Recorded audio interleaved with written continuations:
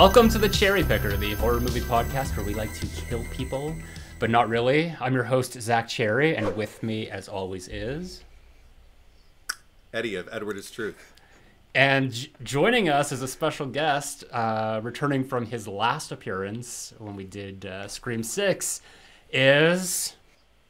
Andre. Yay! Hail, Hail Paimon. Hail Paimon.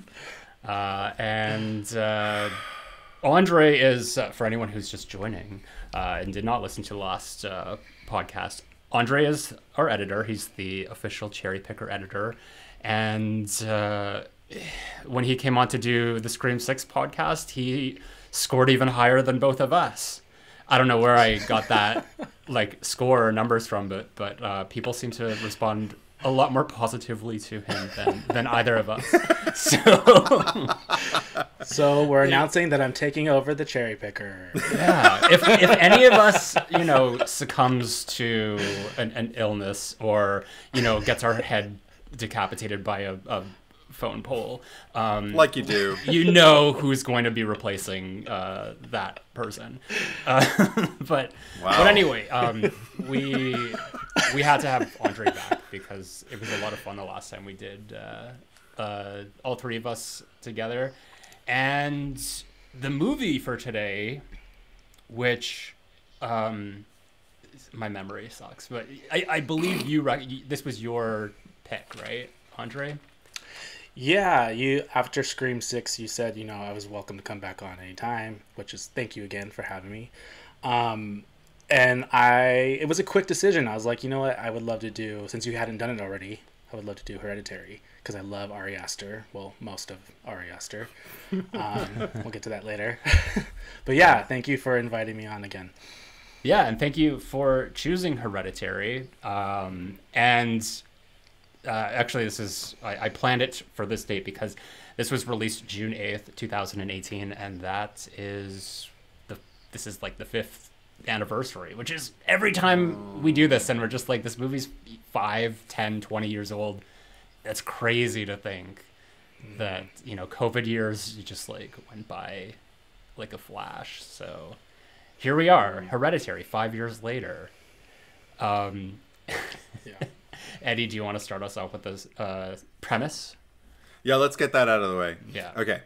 When Annie Graham loses her already estranged mother, Ellen Lee, unsettling occurrences and palpable spiritual manifestations start nestling in her secluded house's dark corners.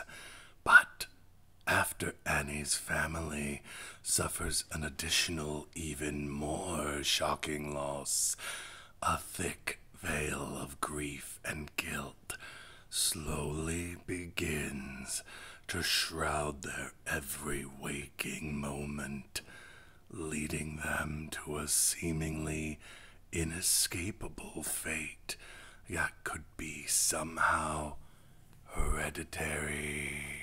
Um, so Andre, since you you kind of already mentioned uh, Ari Aster and being a huge fan of most of his career, do you want to just elaborate on that and we can get the that out of the way first?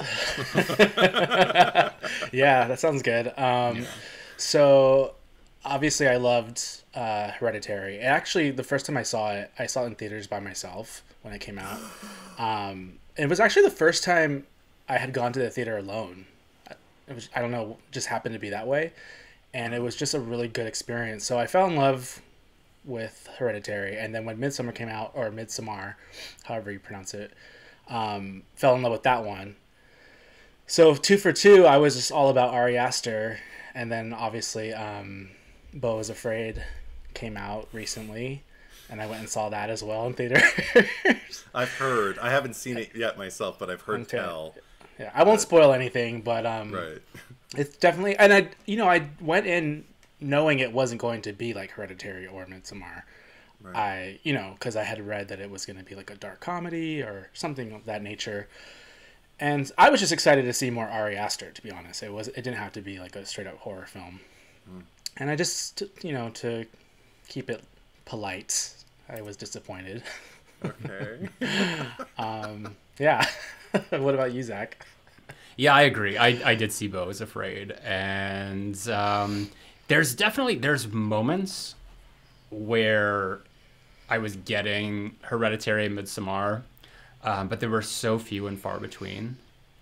And uh, I mean, this is a three-hour movie, and with the type of like self-indulgent storytelling and directing that was going on there. It's just like, you know, when I'm required to sit in a movie for that long, I need something to to kind of like trail me along. Um, to make that time worth it, to, so, so it doesn't feel like it's three hours long. And everything that he did in that movie emphasized the the the uh, length of it that it made it seem even longer. That by the time I got out, it, it felt like I was in the the theater for five hours, and it, I did not have a good time. And I I will never watch it again, and uh, we will not be covering it on the podcast, uh, other than other than chatting about it uh, as we are here. Um, but I mean, it is Good it- choice. There's a lot about it that is still, you know, quite remarkable from a, a filmmaking standpoint. It's just, ugh. anyway, Yeah. Yeah, that was. that He's was a brilliant he's a brilliant filmmaker for sure and I, Yeah. I think he's insanely talented. And, you know, I still have a huge amount of respect for him. And like you said, I mean, the craftsmanship and the production of Beau is Afraid is beautiful and, you know, well constructed. But the narrative, you know, yeah, yeah. and the length and what I kind of what I like about his career because he's kind of and maybe Beau is afraid was like his way of escaping this sort of niche that I don't want to say he's created for himself, but it, it's certainly it's it's in a lot of people's uh, consciousness that he's known for taking the premises of really bad horror movies and making them art house. And um, specifically hereditary is the plot of paranormal activity but art house and midsommar is wicker man but art house. So beau is afraid is just kind of like its own thing. It's not really uh, any sort of adaptation or amalgamation of, of anything that already exists. It was just sort of like an inspirational s- story thing that he wanted to he wanted to go for. So, you know, I I, I liked the you know what he was doing at least with uh, his first two movies. Sounds fair. Yeah. I haven't seen Beau is Afraid, so I can I can offer nothing except I've heard uh, middling to uh, negative uh, things from people who have seen it. So I was like, oh, okay, I won't rush. I'll get to it, you know, eventually. But it sounds a lot like your reaction to both of you. Your reaction to Beau's Afraid sounds a lot like me reacting to Nope. Um, I don't know what it is about that third film with uh, these directors, the, these current run of like hot directors that we have. Um, But that's kind of the litmus test for like, okay, are you are, you- are you really in, or are you? And uh, it's like, well, yeah, but I'll, I'll watch the next. I'll watch the fourth film from both of them, I'm sure. But um, I, yeah, like I said, I still, I, I'm not rushing out to see Beau is Afraid just based off of like the the general reaction to it. And interestingly, both of you are not fans of Nope, and I've I've still only seen it the one time. I need to uh, watch it again. Actually, uh, one of my So do I. Patreon supporters, Queen Cream, sent me uh, the Steelbook, so I still have it. So I need it's it's in my rotation. I need to watch it again because I want to watch it again because I didn't I you know I I enjoyed it, but I didn't love it. Like I wasn't bowled over like uh, Get Out. Mm-hmm. Like Get Out is like on a echelon of its own. Um, Yeah. But uh, Andre, I know that you, and not that we're gonna go into like Jordan Peele territory here, but I know you you you weren't like a huge fan of Us, from what I recall, or or Nope. So Yeah, I was. Yeah, I I love Get Out, and I love Jordan Peele's comedy. Um, but I was disappointed with Us, and then I saw the promotion for Nope, and I got excited, hoping that you know he would redeem himself with me. Um, and I just really didn't enjoy myself with that one either. So for me, it's I'm no longer like a fan of Jordan Peele. I'm just a fan of Get Out. You know. yeah. so yeah, I mean, like then you know, some people can look at it as like, you know, the current run of directors, one, two, uh, you know, you missed a beat. Uh, but you know, everyone has a, a different perspective of of things, and I think that like everything that I understood because I didn't really research like Ari Aster or just things that he said about Beau is Afraid, but it just seems like it was um he it was a movie that he made for himself, and like that's fine. Like you know, like the studio is like here, here's all your you've done such great work for us. I believe Hereditary was the highest grossing A24 film until Everything Everywhere All at Once. So that's a record that it held for four years uh, at least. So they're, you know, they're happy with him. They're going to continue working with him. I don't think that Beau is Afraid is going to change any of that um, in, in any way. It was just, it was just sort of a, like an honorary like here you go kid go nuts yeah I can respect that, but at the same time, after seeing the film, and I'm just like, you could have cut it down a bit. I don't know. like, well I, like, I mean as an editor you're, all of you're it? always Like- going to be um, God, yeah, I think probably the most critical. Yeah.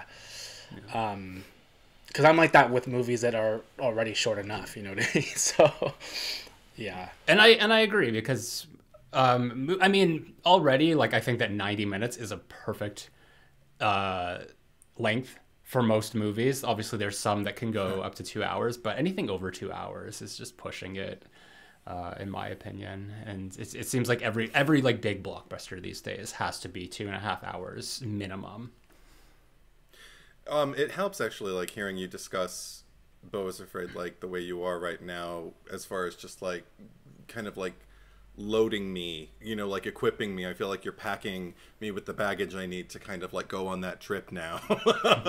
and I was lucky enough with Hereditary to have a bag packed for me by um, this uh, critic, uh, movie buff named Clarke Wolfe. She used to work on Collider. I don't know if she does anymore. I don't even know if Collider's a thing anymore because I don't watch. We discuss movies, so I, you know, I don't want to listen, spend all my time listening to other people discuss movies. I'd much rather discuss them with people, you know. yeah Um, but uh, this was back when I used to like watch. Uh, I think it used was still AMC Collider at the time. I don't even remember. But I remember Clarke Wolfe had gotten in on a press screening, or I think she even might have seen it like at a, a film festival prior to its theatrical release, uh, Hereditary. And one thing that she said that I t- told my sister, who I went to go see the, the movie with the first time, uh, she said, "I wish they hadn't put that item in the trailer that everybody's seeing for Hereditary about The Exorcist. It said something like it's scarier than The Exorcist or something like that." And she said, "Because I've spoken to too many people who are like, God, I wish they hadn't said that because I went in expecting The Exorcist, and it so isn't. Um, it's good, but I I didn't know how to receive. They they sent me in with like a mindset like, oh, so I'm gonna go see like the next The Exorcist. She says, and it's not. She says she says it's it's it's exquisitely put together. It's exquisitely acted. It's not fun. and I was just kind of like, okay, so it's gonna be rough. You know, it's gonna be a rough ride, but worth it. Is basically like the the the messaging that I was given, and I felt like that was kind of the best way to be equipped to go into the movie because uh, I wasn't I was not disappointed in the least uh, the first time I saw it. Um, how about you guys? I believe that quote in the trailer. It's, I think it says something like um, "this generation's Exorcist" or something like Mm. that. I know what you're talking about, Right. but I think you're right. Like it, it does give like that expectation for the general audience, but having seen you know it being out for five years now and having seen it a few more times and just it resonating longer, I can see where that quote is coming from. Like Sure. like I I can for me it is the contemporary Exorcist for my personal list of you know top tier horror. But you're right; they didn't necessarily need to put that in the trailer because then it's like making people think, "Oh, I'm gonna go see a movie like The Exorcist." But The Exorcist is also not fun, so maybe I don't know. Um, Depends on who you yeah. watch it with. If, if you that's watch the it with Billy that's the problem with trailer. It's the problem with trailers, and we've talked about that, or you guys have talked about that. You know, sure, like it just expectations. But yeah, absolutely. If if you've listened to the Exorcist uh, podcast that we did, like I'm not a huge fan of that movie, so when whenever like I feel that the the Exorcist like it's a great movie, but it's in my opinion it's a movie that's reputation is greater than its actual value as a movie. The quality of the movie if, if, if that makes sense. I feel like it, it's just like the, its reputation precedes it in a way. This is obviously just my opinion but um you know when i hear stuff like that it's just like oh this is like the next exorcist thing. Like i don't give that any credence because i just like all right whatever you know? Um like i you know someone said oh it's the next halloween or scream or you know something like that. I may be i, I might be like oh bullshit and i need to watch this to like prove that wrong. Um, but i actually i don't remember seeing the trailer for hereditary and i still don't think i've seen it. I just went to the movie um because i recall um i went like maybe a few weeks after it came out like, like at least like the next week because it had gotten a lot of word of mouth. And it was the word of mouth was very mixed like it was like it was very polarizing. There was no like in between. It was either like this is like the best horror movie to come out in you know forever even though i disagree because get out had just come out the year before. Or it's like oh it's such a piece of shit it's overhyped yada yada yada. Um, and i even remember like I- and i went with a friend um, and the audience was packed. Like I, I it, it had been a while since I'd seen a movie, um, th- like the, having a theater that full, and there were a lot of mixed reactions in the crowd. Uh, mostly, I think like there were people who were scared, and there were people who found the movie to be downright comedic because there was people laughing at Sure. things that you know like were supposed to be scary and stuff so it was it's you know we've talked about like how um you know a, a movie theater experience can kind of uh, influence our opinion and i don't i mean it didn't necessarily influence mine but it it would have been a lot nicer to have seen the movie without all those people there because it was like it it was so polarizing and so all over the place that it was hard to like really gauge one uh, specific attitude from from the people watching it. And I think that I haven't seen this movie a lot. Like I, I watched it last night uh, to prepare for this, and I can't remember if I had seen it once between uh, my initial viewing or not. Um, so I, I, I can't really uh, tell you um, any like specifics of just like you know my, my experience seeing it other than that first movie uh, theater going experience but uh, i think that this is you know a great movie i um i don't want to say it's perfect because i do have you know like minor quibbles with it but uh, just in terms of like if i was to like say like what's what is the best horror movie that came out in 2018 uh, by a long shot it would be hereditary What about you, Andre? Um, yeah, so when I first got out of the theater, I didn't know how I felt about it. And I- I think my initial reaction was like, well, that was weird. and I mean, it was a genuine reaction. And I remember uh, going on Facebook, back that's back when I used to use Facebook, um, and just writing a, a post like, well that was disturbing or something. That was my it was very like vague like a one line review. And people were like well what did you think? Like they wanted more from me. And i just didn't know how to process it. I didn't know if i liked it or not. And i think once it came out on blu-ray and i revisited it and just it's i got to sit with it more and just appreciate for what it is it's it grew on me so much and it's one of my favorite movies um, also, it's funny that you say that you your audience was a mixed crowd of people. Like some people were laughing. I have um, an aunt uh, who I'm close with who saw it, and she told me she started laughing when the scene happens, the scene when we get to it. And she said she started, she burst out into laughter. I was like, "Are you a sociopath? Like, what is wrong with you?" Like, I didn't understand her reaction. They like she didn't get the movie. Her husband didn't like it. Like they just they didn't like it. And I'm over here like saying it's the best contemporary horror film. Um, so yeah, it's very polarizing, and I I'm glad that I received it the way that I did because I love it. But yeah, there are people who just didn't get it, and they yeah, it didn't hit them the way it hit me. So it's interesting.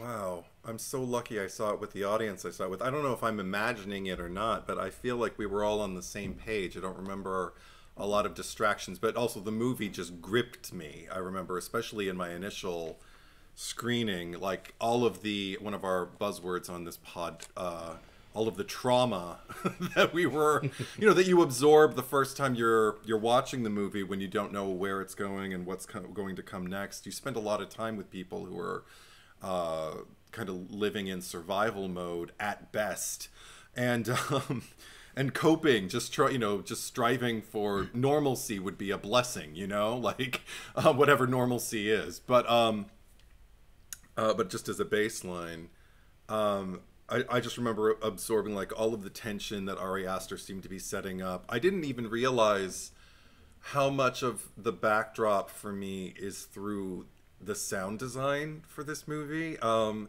and not just the score, but there are pulses and low rumbles and low moans that sustain in scene that that even connect scenes. Like there can be three scenes that are connected with this uh, continuous line of a pulsing, vibrating sound that almost kind of feels like blood pumping in your ears. You know, like if you if you're swimming for too long and you have like water in your ears and you can kind of feel your brain beating, and it's not unbearable. It's not even. I, this is the first time I've ever been conscious of it, but I, I'm certain it's not the first time that I felt it. You know, like that's what kind of what what probably helped put me on edge so much that first time. Um, I even remember the most shocking moment for me, uh, which I'll share in a moment because I do want to know. Like, do you do either of you find any moments? Did you find any moments shocking in your initial screening? Uh, and do you still have any moments that are that are that shock you at this point? Because I, I want to share mine after. Well, I mean, do we dive in right away with what? Because sure, it's a specific Yeah. it's a specific moment. So obviously, when the decapitation happens, yeah. um, that I was not anticipating, nor you know, and this is when I knew the movie was special. Even though I didn't know how to process it afterwards, I knew that it like did its job. Was because I gasped out loud, and like I said, I was by myself, so I wasn't like doing it with a crowd. Like I was just that was just my reaction, my genuine reaction. And when a movie can get me to feel like that, because I'm so desensitized, I've seen everything and I'm kind of jaded. so when I have a reaction like that, I it, it's it's I'm just very grateful, you know, and it sticks with me. So I'm just like, wow, like kudos to the filmmakers, you know, for getting a rise out of me. And so the decapitation definitely caught me off guard because you know they set up uh, Charlie in such a light where you think either she's going to be the creepy um, character throughout the entire film, right. or or a victim or whatever, but you don't expect her to die so soon and so sudden and the way it happens, you know. So that's obviously the first time. I assume that shocks a lot of people. Um, how about you, Zack? Yeah, I agree. Because I mean, again, I hadn't seen any promotional material. I didn't know what the movie was about. I just kind of heard, you know, oh, it's it's great, it's terrible, um, and really, like the first act of the movie is so Charlie focused that you know I agree. It's like, oh, it's a, it's like a creepy kid movie. How is this going to unravel? So I was just kind of like falling back on what I'm used to with like creepy kid uh, tropes that the scene when it happened i was confused at first because i'm just like it happened so fast that i wasn't even sure what had happened because like it's it's very quick editing um, and then you kind of process it. It's almost like ari aster is like really good at putting you in the character's actual like position and state of mind that the way that you're comprehending it is still kind of the way that the characters do. And I think like it, you know, it took the whole trip home for um, Peter um, to just like go upstairs, lay down, and then like you hear uh, Annie in the background like, "Hey, I'm going to the store. Be back in 20 minutes," and then like all Yeah. like chaos breaks loose and then and then you see the the shot of the head with like the the ants crawling all over it and it's just like okay. Um you know like you you know what happened like subconsciously but just because it doesn't really linger on the imagery of what happened it just more so lingers on the emotional responses or lack thereof that you're more so invested in that. And it's just kind of like what what's going on? Like give me more. Um so it's really like until there that sort of segue from that and then like the funeral with like the you know the shot going underneath the ground to then when you're you're back with them and they're kind of like trying to find some uh, state of normalcy after everything again that you're kind of like you've that's the point where you've processed it and like okay now i get everything that's happened. Of course now in like rewatches you're just like all right here it comes um but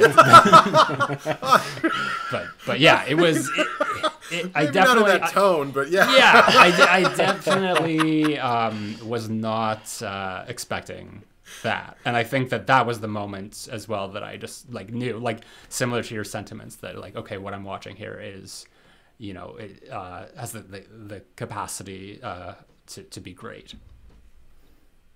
Um, yeah, I agree with both of you. I, I, I remember I was definitely, I'm not going to pretend I wasn't aghast when even, I, I didn't know that it was a decapitation that occurred because of the way it's shot and everything. I just kind of thought her head was knocked against the beam. Obviously, there's no sound. Obviously, we have that sustained shot on Alex Wolff just trying to function, trying to process what just happened. Also, not. I I completely forgot about um, a shot that I love of his POV, just like checking the rear view mirror and then immediately avoiding it because he knows what's back there.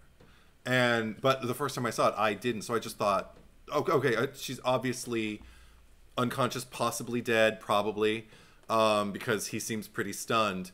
I thought she was intact. I didn't know until we saw the head on the side of the road with the ants crawling on it, and then I was I, but I think I was maybe too, maybe less shocked and more disgusted. I mean, just you know, and not just. I mean, it's just it's a gross thing to have to see to imagine the head of this little girl is now severed and on the side of the road and covered in ants. Gross. Um, among other things, you know, like I'm feeling everything with the family. I felt bad for her. I knew her life wasn't easy, and that's no way to go. But I think the singular moment that shocked me the most, the one that made me gasp audibly, was uh, uh, later on after all of this when um, Annie is in uh, uh, uh, Peter's room and he's waking up and he's he's he asks her why are you afraid of me? And she's just standing and they just kind of have a little bit of an exchange and then finally there's a long pause and she just says i never wanted to be your mother. And when she does it she like clasps her hand to her face. I did the exact same thing and went, like huge gay gasp. And i probably bother i probably disrupted everybody around me who thought but if anybody wasn't paying attention all of a sudden they were because oh my god what what just happened? That, that gay guy just gasped. Um, um, that was the most shocking one to me because that that's like that's not even horror. That's like family d- domestic drama terror melodrama kind of you know like stuff but brutal and and it, it played into um i guess like this this this reality horror that um that I, I agree with you andre in terms of just like i feel like my palate is pretty varied. I feel like i've tasted a lot of different horror flavors and it's I, I don't know if it's hard to shock me but it's probably hard to surprise me. And that surprised me because you don't see a lot of that in horror. A, an, a, an effective communication of an almost freudian slip from this mother to her son and then the the fallout afterwards him absorbing it and becoming emotional and her just trying to explain it away in a way that'll kind of make it make sense and also make it okay which it of course can never be i don't know that that was the slap across the face for me and it's still every time it happens that's actually the moment for me where i'm like oh god here it comes and I even I felt myself cringing uh, uh, once the scene started. I was like, "Oh God, she's gonna say it." Um, I mean, good thing it was just a, a dream.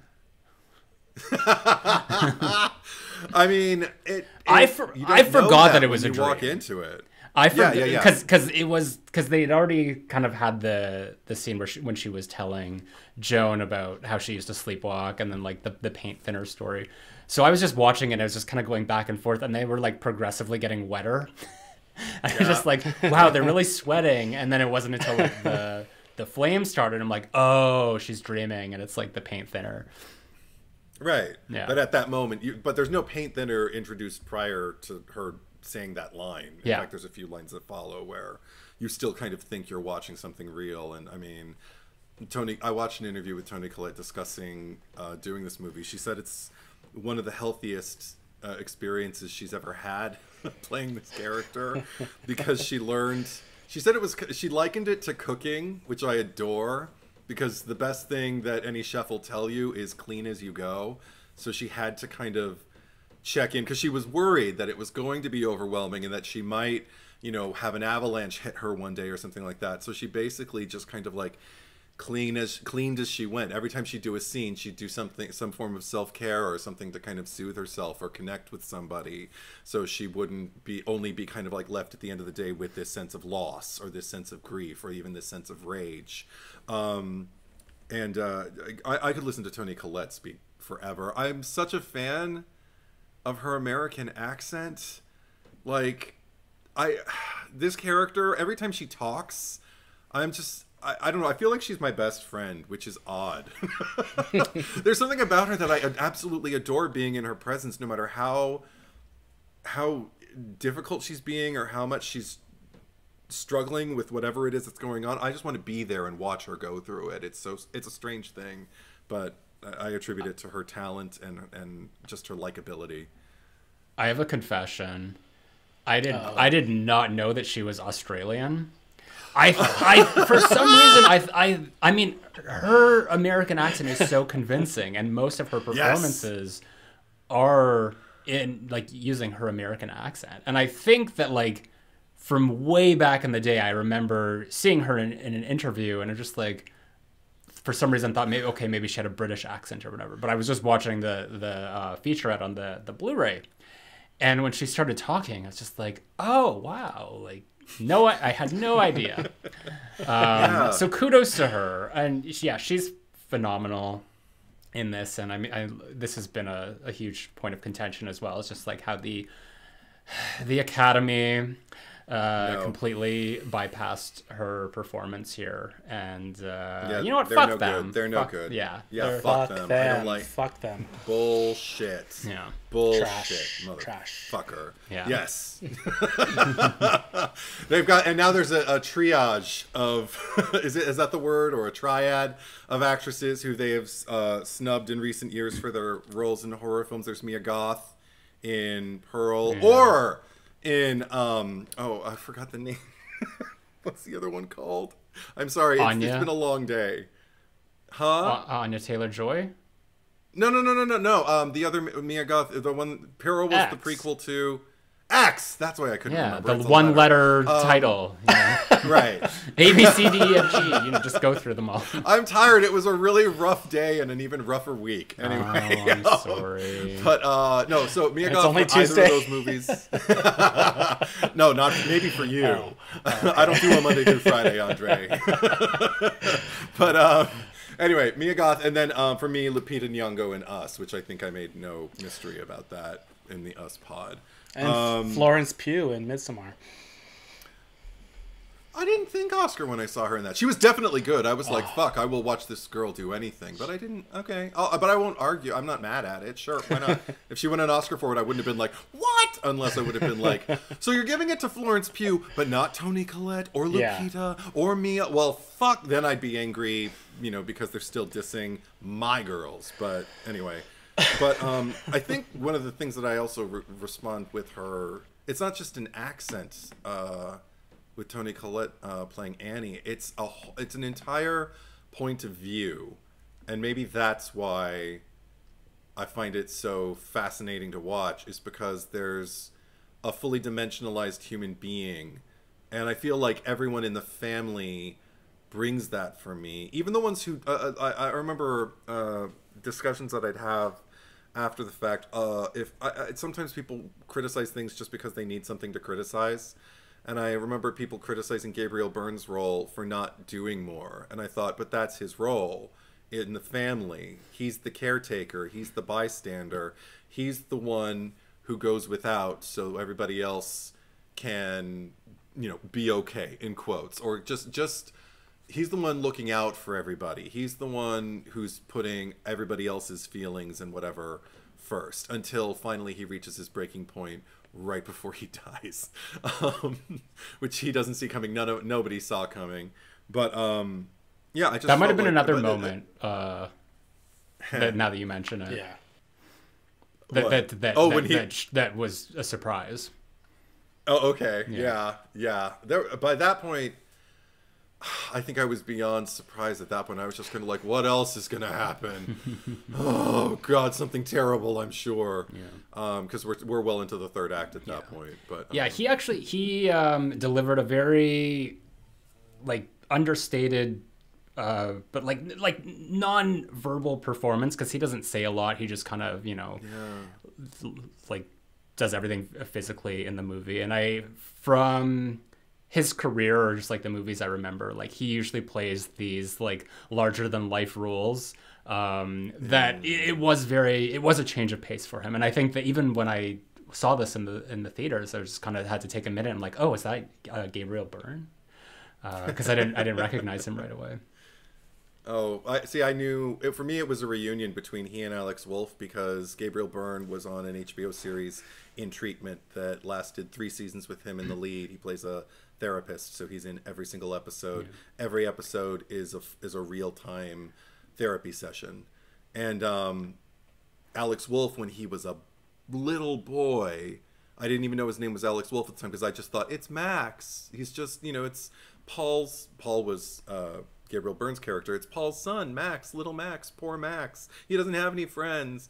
And then I see this movie and I'm just like, oh my god, Max grew up and he's he's not. I have to stop thinking that I'm watching the first uh, exposure to the family we have is I almost want to call him Max. Peter asleep in his bed, and Steve walks in to wake him up, and I'm just like, oh, I feel like I'm watching like a really fucked up episode of In Treatment, but but like years later, like a requel. What's going? Okay, I need to shake that off. Um, but uh, yeah, so I knew that they were going to be good together. A- Again, did very little with each other, but um, I heard in an interview Alex Wolff say that uh, Ari Aster would send him out on uh, tasks uh, with um, oh, oh uh, Millie Shapiro is that her name?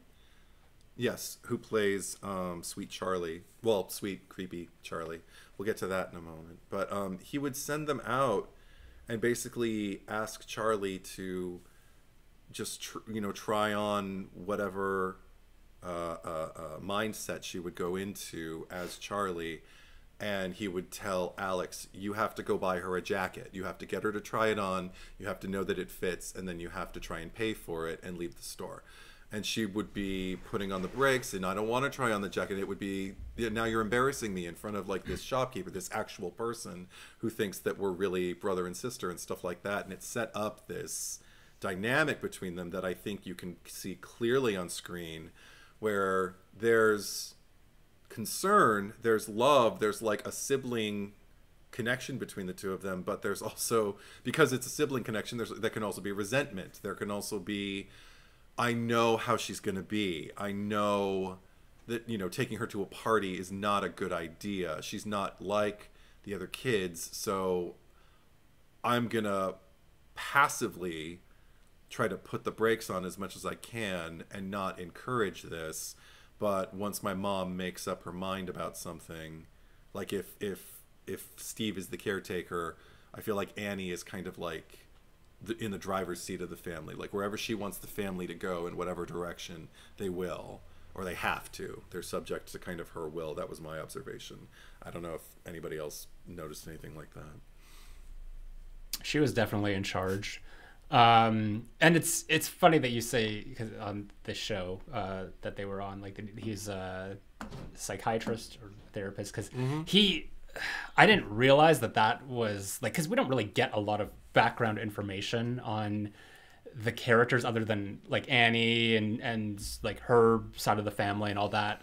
Sure. And in the, um, I mean, they might have mentioned it in the movie. I, I must have missed it, but uh, in the featurette, uh, they're describing how, um, what's the what's the husband's name? Steve. Steve. How Steve was her former therapist, and then after she was no longer his patient, they started a romantic relationship. What? My head's exploding. So, like, like Andre, did you? Did now you I know have to watch that? it again. Thanks, Zack. Oh my god, I did yeah, not I, know that. I did know about that, but I actually don't remember if I g- gathered that from the movie or from the additional features. Oh, um, I really don't remember. It's all 'Cause blurry. I don't remember her mentioning anything about it. I feel like I would have. Gl- I think maybe he might have said something, but just because he is so like wah wah wah wah wah, you know, like whenever he talks, it's just like it's not important that you're just like okay, whatever. Like he might have said something, like maybe even in one of her moments of, of grief, or just being like, you know, how remember how we, you know, used to, you know, process this or whatever. So it wasn't really like a, a plot point per se, um, but it just it, it kind of speaks to the volumes of just like Ari Aster's script and just like all the details that he put into it that you know might not have even come up at any point but were just so kind of like intertwined in in the whole aspect of it that uh, you know even even in the characters like Toni Collette is obviously playing this this woman and you know even if it's not uh, translated on the screen directly she knows that this was their relationship and she's playing it uh, to to that point. Oh, God, I'm just in recovery. I feel like my brain is a jigsaw puzzle, and you just kind of, but, but like one of those three dimensional jigsaw puzzles, and you just kicked it. Or is it like the Maybe- maybe a jigsaw, like the, the reverse bear trap? or a sandcastle. Maybe that's a more appropriate. Like it's a sandcastle that was like already on shaky ground and it's just been kicked. But I, I appreciate the kick though. I wow, that's fucking crazy. I wonder what else don't we know about that they knew like going in that like you know would help them work and everything like that. Um, well, I think that, like, and this is uh, just another thing of just like Ari Aster because sort of like the horror that he has on display is is more so just it's like the human uh, drama of it. It's it's that element. It's in this case like it's just really like an exploration of grief and or just say like family trauma. And really like the the the more like plotty sort of stuff is just window dressing where it's it's interesting and that's like the paranormal activity aspect of it um, and certainly like all of the like the Toni Collette and all that drama is what paranormal activity is missing aside from like you know a well crafted uh, movie and cinematography Oh, wow. but it's no it's the same story because I you said something that that uh, piques my interest because you referred to Charlie as sweet little Charlie. You said sweet but creepy little Charlie, sweet, yeah, yeah, yeah. but yeah. you said sweet, and this is where you know this is where I'm interested in like the plot because I want to like dive into everything that was happening because from my understanding of of things is that Charlie was Paimon. Paimon Yes. was inhabiting Charlie's body. Is that yes. true? To Yes. think? Okay. All right. So sweet. When you say sweet Charlie, you mean sweet Paimon. Just, just. just Well, checking. sweet Charlie didn't know that they were sweet Paimon, that they were king Paimon. It's like Damien it's, it's and that uh, whole it- exactly. It goes right back to Damien of just kind of like the, the first. If the devil were to be born, would they? Would the devil know that? Hey, I'm the devil, or would they just kind of you know grow up like a regular kid and then have somebody come and tell them in a kind of like antichrist funny play on words, but like antichrist rhetoric, because apparently there there there are stories that people love to either build upon or or make up entirely ab- about Christ finding out the Christ child finding out you know you're the Messiah and you're going to be killed by the people who follow you and love you and who you trust and you're going to become this emblem and everything like that and the first thing that usually get, get a reaction is why? No no why? And in Damien the Omen 2, you get the same exact thing from the Antichrist child finding out, I'm supposed to be the devil, but I don't want it. I just want to be a little boy, damn it.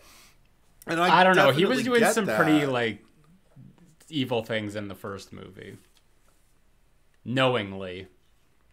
Well, but how knowing are you when you're like a toddler and a preschooler? He literally like- turned his head to the camera and broke the fourth wall to like more or less like smile. I mean, I, I don't think there was a wink there, but there there may as well have been one. But I feel like that's okay. We'll, we'll have this argument when we discuss the Omen because that, that that that's a whole other can of worms. But for Paimon, I feel like the story that they're telling eh, that I feel still largely associate with Damien is that like there are these impulses that you're having that you don't understand and there and there are and you there are these reasons you don't fit that you don't can't quite grasp and you don't know where you belong. You just feel lost. You move at a different frequency than everybody else and all you want to do is just kind of like uh, uh, uh, uh, seclude yourself is just kind of like isolate as much as possible because even the people in your own family don't seem to uh, understand you except for grandma who seems to love you unconditionally and uh, i mean and that's the way it's being presented to you you don't know what it really means you don't know what she's gonna get out of this you know Yeah. um So does that mean I- that the real Charlie was like the soul of the real Charlie was just like expunged or something whether it was like, you know, after birth so. or or you know, in the womb or you think that like so you Oh. think this is like a Rosemary's baby situation where where Satan or whoever the father of King Paimon is impregnated Annie. i guess it would de- no i guess it would depend on when ellen annie's mom started her whole process and what that entailed like It was when She- she was a baby and she was feeding her. Because if you look at the pictures where she's feeding her with the bottle, right there's that there's that herbal stuff in it that uh, Annie later has in her tea. right the little So it was when she was a baby they started the process of putting. So maybe there was a soul of an actual Charlie that was expunged at a really early stage that Paimon took over the same way he did uh, Peter's body that we see. I love, uh, there were people who didn't catch it. I remember I saw it the first time when, after he leaps out of that window and lands on the lawn, and you can see this black shadow passing out away from him as this white orb drops down. And i remember thinking bye peter. Oh i know who that is. And i wasn't looking forward to seeing charlie at that particular juncture uh, but i mean I, again it, I, it's funny i'm surprised myself that i call charlie sweet because i remember another thing in a lot of conversations I'd observe and that I'd have with people about this movie in its release. A lot of because a lot of horror fans are introverts and have kind of awkward social upbringings and everything, and a lot of people saw Charlie at that party and felt uh, an incredible uh, uh, affinity for and a, and a sympathy or sympathy empathy for her position so much so that that kind of I guess made them forget that she also cut the head off of a pigeon. Which I never forgot. I was always like, no, no, no, no, no, no. I mean, I, I feel for you, girl. I mean, if you don't want to be at a party, that's the worst place in the world to be. But you you cut the head off of an already dead pigeon, and then you made a little, you know, like little plaything out of it. And I, I, I like your creativity. You're creative like your mother. Good for you. Hereditary. But there are more constructive, less disease, less infectious ways of creating art, you know, or amusing yourself, you know, with the scissors and the and the I don't know. What, Yeah. how did she attach it? Was it glue or was it arts and crafts? Arts and crafts. yeah. Just go on YouTube. Go on YouTube, darling. I think the thing that um, Yeah. because after all that you talk about like Peter uh, leaping out the window, uh, like Renee Zellweger in uh, Texas Chainsaw Four, to, but to to to uh, worse results. But um, right after that, I think like I, the the upsetting part of the movie for me, and and one that actually the entire audience responded to, was seeing the dead dog just kind of laying oh. there in the distance. And it was, in a way, it was almost like I think some people might have laughed, and I get that because the whole movie, I think there was a, I think the last time we see the dog was, um, I know it was like it was in Peter's doorway and it was barking, and then the door shut. Right. But at a certain point, I kept like asking, like, "Where's the dog?" Like you could hear Yeah. him barking in some scenes. I think that was like, but it had been a while since we'd seen him, and then we saw him there.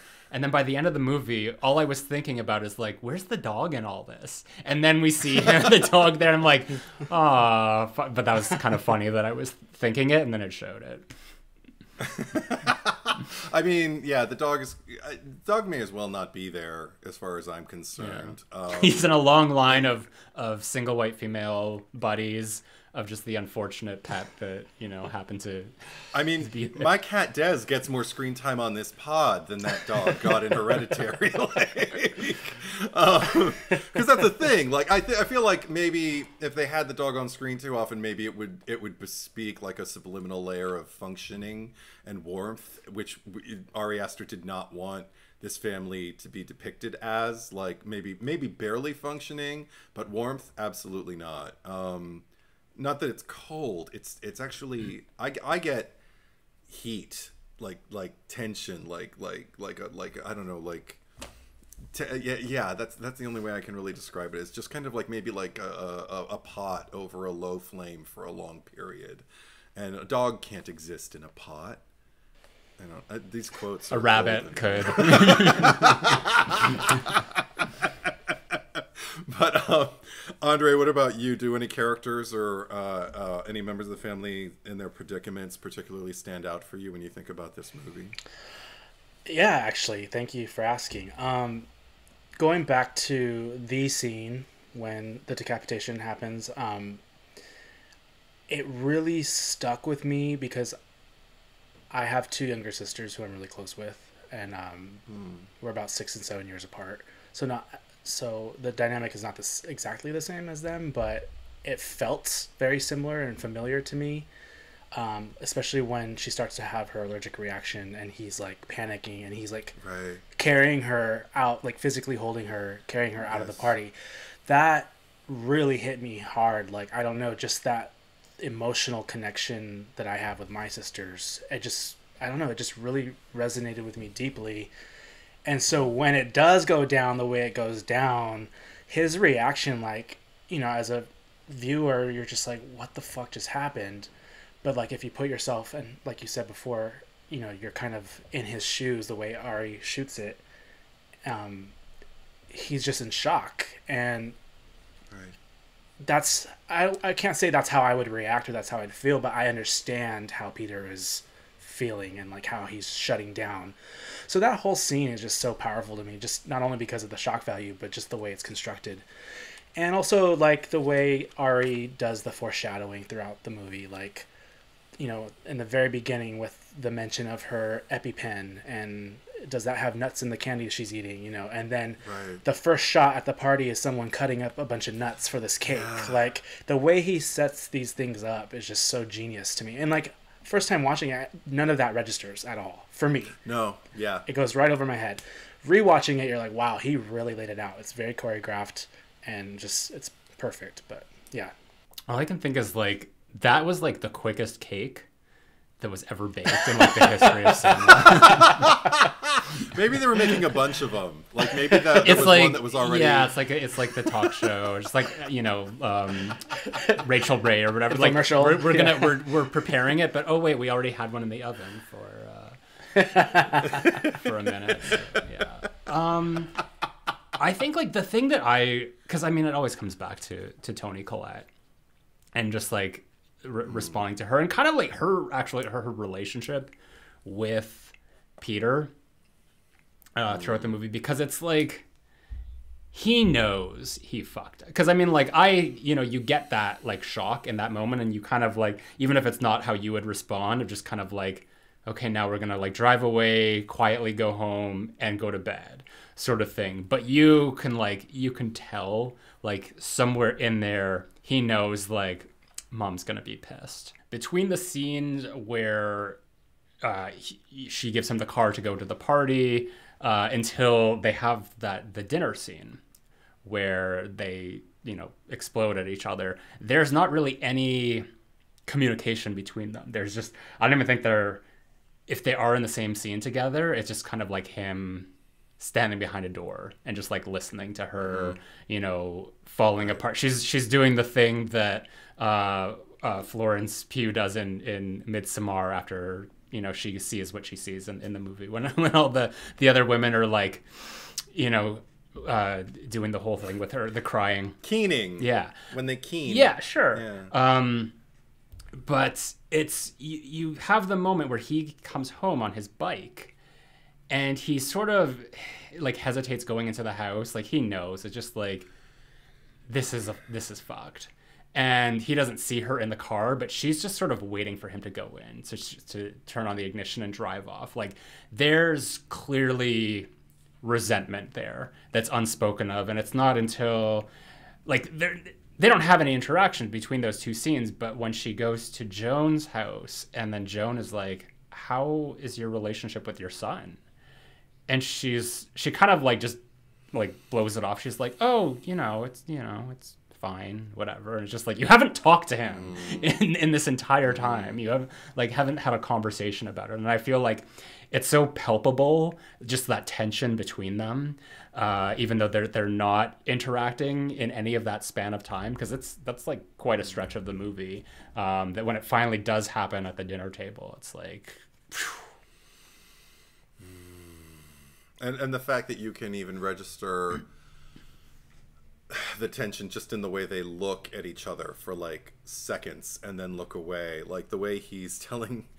Uh, the way that uh, Peter is telling Steve, like how much you know, how good it, it's really, really good, Dad, and everything. I mean, that tension around the table, like, uh, I, I, I don't, I, I, I'd, I'd love to hear from anyone who's ever been a member of a family and never had an awkward meal for whatever reason, but an awkward meal like that, where someone's mad at somebody else, somebody did something and fucked up, and but we're all going to sit around a table with each other and eat because it's what civilized people do. When really, what we really want to do is either scream our lungs out or just isolate, just be away from each other. And maybe if we didn't try to sit here and pretend like this is still a family unit that's working, you know, like if we just could say the truth, like, but, but I, I, but at the same time, like, how? How can you possibly without unleashing the way um i mean I, am sure therapists would know better ways but i mean well clearly not.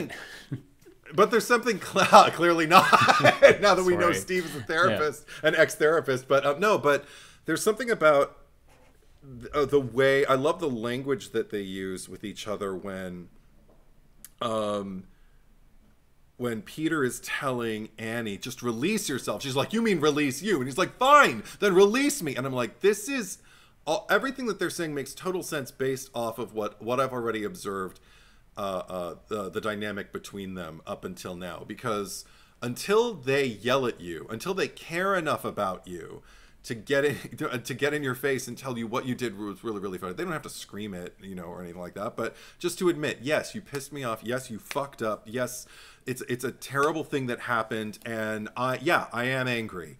Um that alone is an act, can be an act of love because you're sharing your truth with someone. But because they're sitting there with their stomachs ti tied up in knots, not talking about it, it's like their love can't exist there. So in an odd way, maybe this is why Toni Collette also found a lot of this really healthy.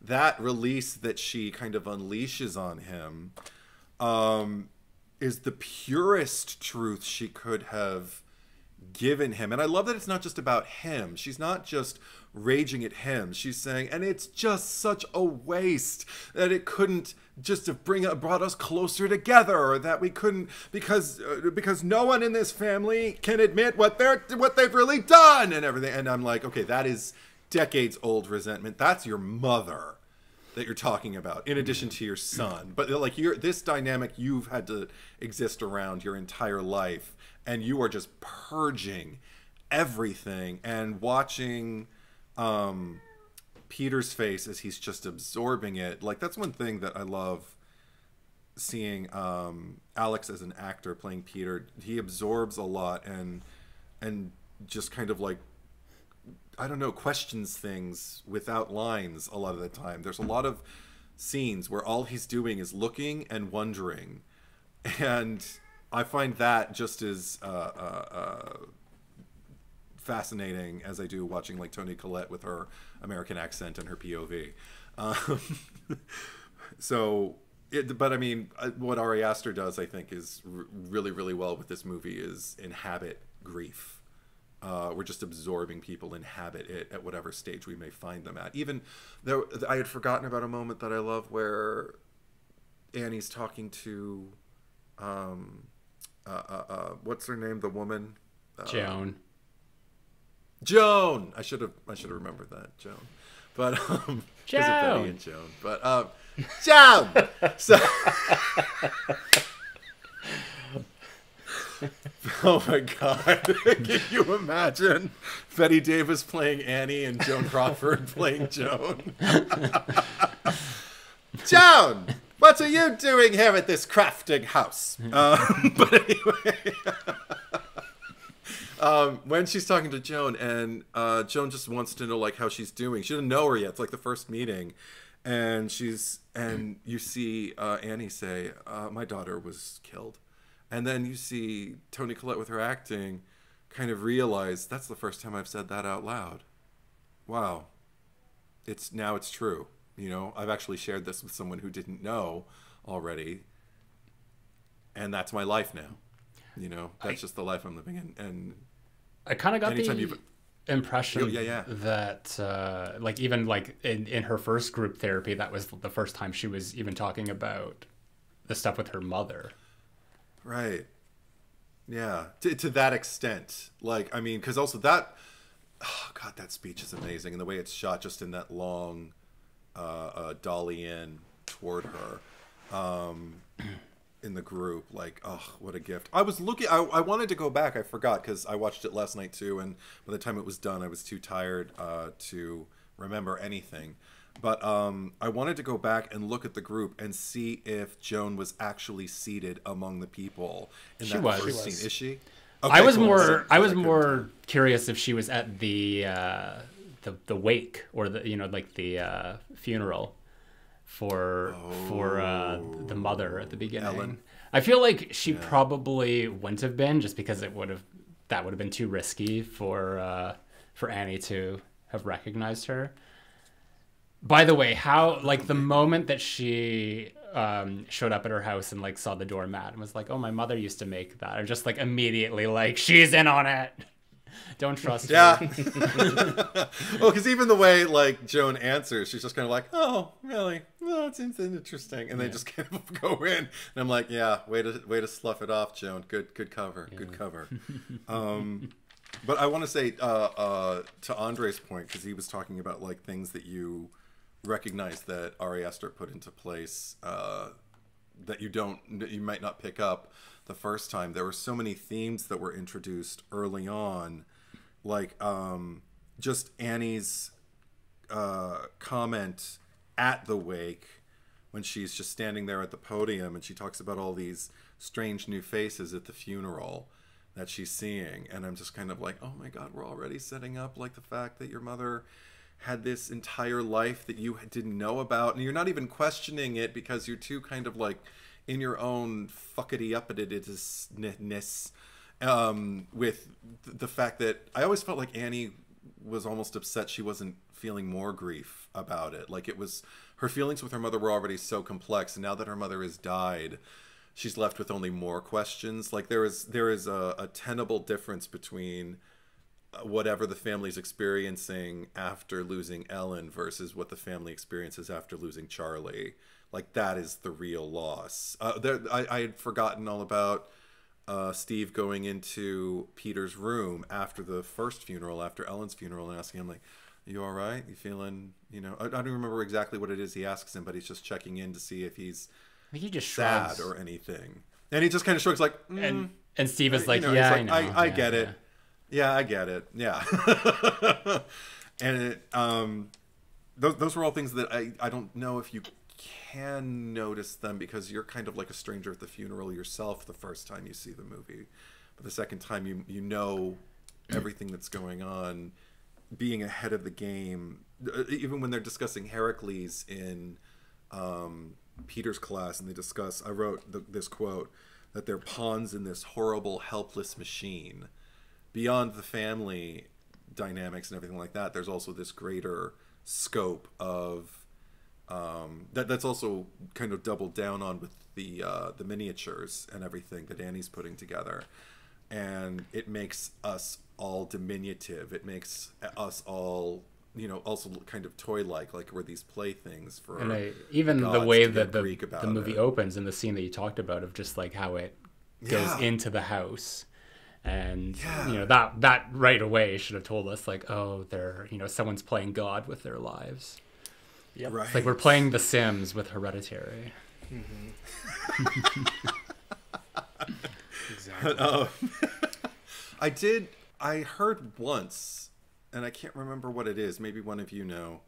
I think it was Ari Aster spoke about what those reflective prismy lights were supposed to represent. Every time they'd kind of dash across a room, there were all these wipes of light that happened. Do you remember what it was, Andre? Um, I've heard that it's Paimon. Fuck. But I I think you can interpret it multiple ways. How do you interpret it, Zack? i mean if it's Paimon, then that kind of contradicts with Paimon already being uh possessing charlie well because like every time that it shows up it sort of uh it, it moves characters to go somewhere or to go, to go into like there was one uh point that i noticed it in it was when after she had got uh, joan's number so it was probably like weeks later and she's w- painting and then you see the flash of light behind her and then the paint spills and it spills on the piece of paper which then segues into her calling up joan and, and going over to her apartment. But uh, i don't know that like freaks me out because like I'll always see like you know a, a reflection or like a flash of light somewhere. Like there's uh, the the building across the street from me. There's always like this something that's reflecting light, and it like flashes into my uh, apartment multiple No. times a day. And I don't like I don't like normal. all I think is like flash photography or something. But then like you know watching Hereditary, I'm just like oh it's King Paimon. or maybe one of the other seven gods of uh, not gods kings of hell Yeah. or something like that um, I, I did have three definite nope moments not nope the movie but just moments that make me like i just did just, nope um, not having it i wouldn't be there no uh, and the first one was when uh, Ellen's go I don't know her ghost or whatever her her apparition appears in the room pretty early in the movie and Annie turns on the lights and then it's gone. But even before that because she's standing there for a while and I'm like nope, no, no, no, no, no. I wouldn't Love even touch the lights. I just leave. I just leave. I just leave. See, that's when we get into like that now it's a horror movie. No, I would turn on I the light. because No, no, no, no. That was can very just enjoy your shadow. That was very um, lights out. The the the short Yeah. the short film, the inspiration, the good one for the Yeah, I mean, I, I've only release. seen the, the, the, the theatrical one once, but yeah, the, the short. film Oh, you should see the short one. No, I have. No. I. Oh, you have? Yeah, Okay. that was what I initially saw, Okay. and the yeah the theatrical didn't uh, live up to it, um, or just kind of like ruined all the things that were great about it. But that's that's what I was Right. getting from that scene, um, which is why I was just like, no, I'm turning the light back on. Um, Right. but uh, was that definitely her mother though? Because it it was hard to tell, and there's so many instances, especially towards the end of the movie, where there's just these figures who are just there in the dark, and there's the one that he that um. Peter sees when he turns around and it's standing in the doorway, and it's Oh, yeah. clearly the guy from that He was at the funeral. He had like the big Yes. smile that we see at the beginning. Yeah, Um, creepy guy. So everyone in this movie is creepy. Yeah. But she says mom, doesn't she? Yeah, the that first, the first one's her mother for Yeah. sure. Yeah, yeah. because she even says mom. She says she thought the she saw her, her her mother. Yeah.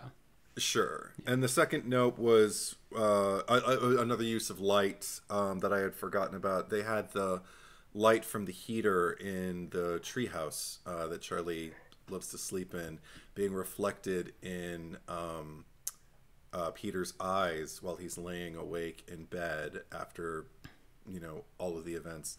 And then he's he's just laying there and it's tense and sad enough and then you hear and I'm like, nope, no, no, no, no, no, no, no, no, no, no, no. Um, not cool, not cool. And then of course the the the last nope uh, moment for me. Surprisingly, it's not Annie. A lot of people are really terrified of Annie's kind of descent uh, in the third act. For me, it's actually prior to that when again Peter's in bed and he sees uh, Charlie standing there, and her head rolls off toward him onto the floor and then it turns into a ball and I'm just like no okay well guess I'm moving. I I don't live here anymore. So good. terrifying. Can't so good. can't do it. Can't and it's and I must because I'm gonna watch the movie many more times in my life. Um, which surprised me. to your point about uh, Charlie not being cognizant that she is Paimon. yeah Um, I did want to bring up the fact that you know we when we first are introduced to her, she is sleeping in the treehouse, and she doesn't have the heaters like the space heaters that are there when Annie's sleeping later. And I and I remember reading something or watching something, and it was suggesting that the reason why she kept going out there um, to do that is because Charlie um, was actually trying to kill herself uh, in any way that she can. So in this case, it was like it was uh, death by pneumonia or just you know sleeping out in the cold um, multiple times. That like she knew that like she wasn't she didn't want to be in this body or Paimon didn't want to be in this body and it was just that was kind of you know it, obviously like when you're a child and you're under the the control of your parents they're not going to allow you to you know do these reckless things. So i think that's why like that when we see the light that you know eventually like steps in and maybe the light was the was uh uh grandma grandmother grandmother laurie strode um ellen it was Laurie Strode that's who it was it was Re- Halloween Resurrection Laurie Strode. No, it was a grandmother. Uh, it, it was because like it's that could have been her light. The like the, it's hard to say because like that's the light that goes into Peter at the end. So it's like you know it is Paimon, but it's if, if it is like a spirit or just something that's kind of guiding them, like it could have been the uh, uh, the mother, grandmother. Sure. I mean, well, I mean, uh, it's also, I mean, okay.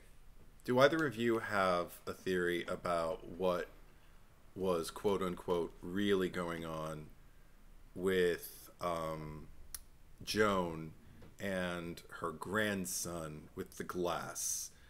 Do you, do we believe the story that she told to Annie is the truth, just happens to be the truth, and it works to entice her to get her into this web with this cult or coven or whatever we want to call the naked old people? Or is this crafted? Is this all a scheme to try and get her and maybe one of their little mischievous deities or demons is the one pushing the glass? Do either of you have a strong opinion about that? I think the I think the latter. I think that they were manipulating the situation to get her to feel a type of way. Yeah, Okay. def- I agree. Because we, I mean, even like there's the two beats where you know in that scene where Annie looks under the table just to make sure that nothing is happening, and then and then uh, again when they're doing the séance and uh, Steve looks under the table. Um, right, to, right. to, to check for the same thing. And it's like you know that joan probably never had like children or or grandchildren sort of thing. I don't imagine that like any of these people did. I mean maybe like whatever this cult is um, ellen was like the designated uh, birth giver that she was chosen to be. Sure. she is the one who's going to give birth to the vessel that was going to be given to Paimon, but then like she had two kids, and I don't know what the like because that's the, where the backstory gets kind of complicated because she talks about how her brother was schizophrenic and he Right.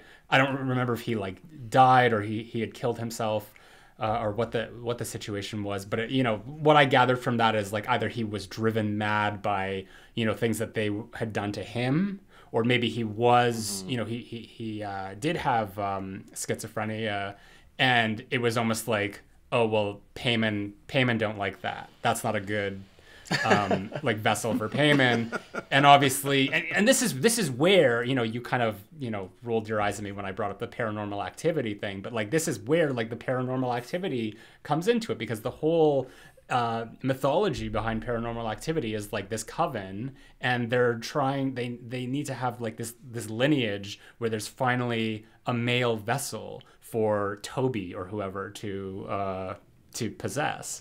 So it, you know, from what from what we understand of just like the little bit that Annie explains, like her her father died, you know, made it sound like the the the grandmother killed him or, or whatever. So it's just like I would I would argue that it was all like what you're talking about with the uh, what Joan was doing with or if there was a grandchild or, or you know a son or a grandson. Yeah, that was all manipulation because everything that they've done is manipulating, and I I think that they're none of these people have kids. It's just Ellen and they're that's why they're so important. If there was other kids, then they probably wouldn't care about Annie. Like there's nothing important specifically about this family that that other than whatever position that Ellen held within this cult or coven um, as to why Paimon would need to uh, inhabit someone from from their lineage. Because otherwise it could have been like any anyone else's child. Okay, the only reason I ask is just because if that's the case, then Joan's a really good actress because when she tells that story, she i I'm right there with Annie hearing it, and when uh, you know, like when she hears how old the grandson was, when he was, she's like, "Oh my god!" I'm just like, "Yeah, right." I mean, I, again, I'm like, well then maybe am the Bette movie. should uh, should play Joan and Joan should play Annie since since Joan is the star and Bette is the actress I would never say Joan is the star and Bette is not the actress, but I will. You know, well, we've had that conversation before, or have we? Have we done Baby Jane on this pod We haven't done Baby Jane yet. Okay, we'll have that conversation when we get to that. But, um, but um, one one thing about uh, uh, Joan of this movie, though, uh, that I really appreciated, it's played by Ann Dowd, who I had seen in a movie that I will never see again because of the effect it had on me. Uh, Compliance. Have either of you seen this movie? I've heard of it. Okay, I would never encourage anybody to see it, but if if if it piques your interest, it's just about with, with no spoilers, but it's just about it's it's loosely based around situations that actually happened where somebody calls a, a random business uh, McDonald's. pretending to yeah, We'll like give a little bit more like information if someone wants to look it up. They can because it's a true Okay, story. pretending yeah. to but somebody basically can do this. Yeah. Call up pretending to be management and use these manipulation uh, tactics to basically uh, control you because what people want to do first and foremost. I mean, sociologically, it's kind of fascinating, but I would have rather watched maybe a documentary about it than like a dramatized film where you have to actually watch people be whittled down to their basest, you know, compliant uh, uh, uh, elements and to the point where they're doing things where I'm like, I can't believe I'm sitting here watching this. Um, and all the people who are making sense of it are, it, it was very grating. And when it was over, I didn't think I was glad that I saw it. I satisfied my curiosity because I had heard about it, but um, Ann Dowd plays kind of like the uh, the matriarchal, um, compliant person. Like she's the one who's in charge, so she's the reason everything kind that goes down kind of goes down. Um, so she's kind of a terrible person in it. So when I got to see her in this, I was like, I want, I can't wait to see her play somebody likable because I think she's also in. I haven't seen The Handmaid's Tale yet either, but apparently she plays a really horrible character on that too. So I'm wondering if she's ever. This is the most I've ever empathized with her in a movie. Was just her giving that speech about her her son and her grandson. Um, And it was all So smoke and mirrors. I hope there's a, there's a part of me that hopes maybe it's true. Maybe her her her grief is real. She's just using it to for evil.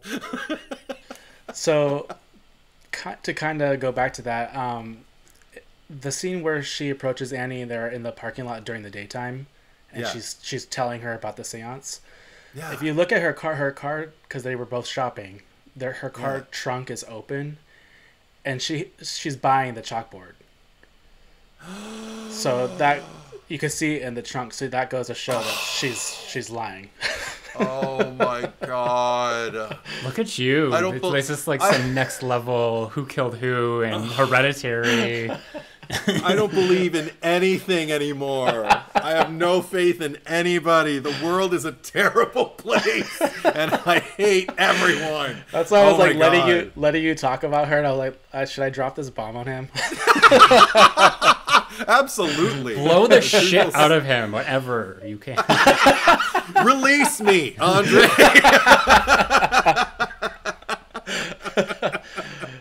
but um, no, it was uh, I hadn't I couldn't remember like uh every everything that everyone in Annie's family had suffered, like her mother having DID, dissociative identity disorder, and dementia.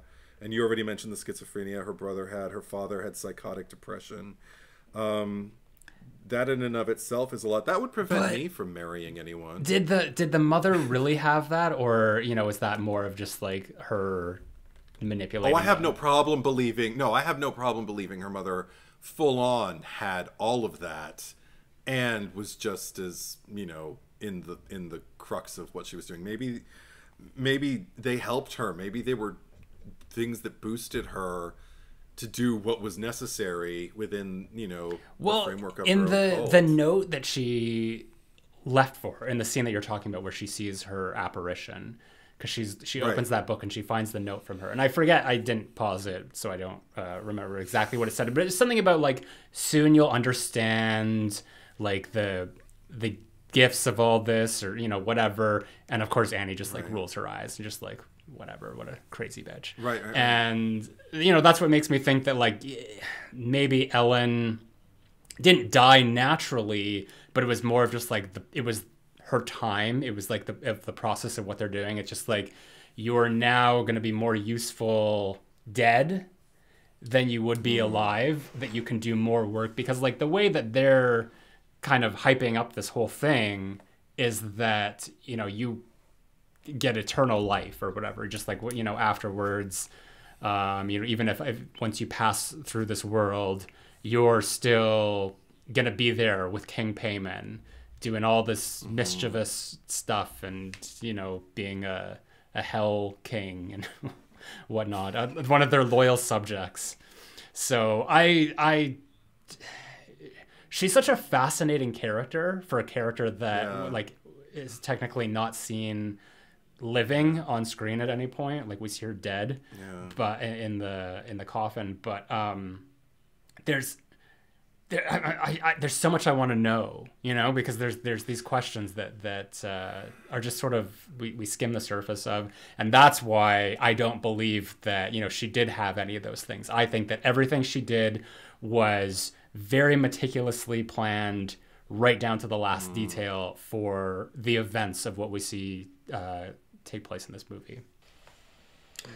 You're not in Yeah. your head, Andre. What do you I was I was gonna say I think I agree. I think her death was planned because um, her headless corpse was part of the ritual at the end, Right, right. and Paimon needs three heads for the ritual to commence properly, um, which is Ellen's head, Charlie's head, and then um, Annie's head. So they needed her head. So she's the first to die, and then Charlie, and then Annie. So I do think that her death was planned. Hmm.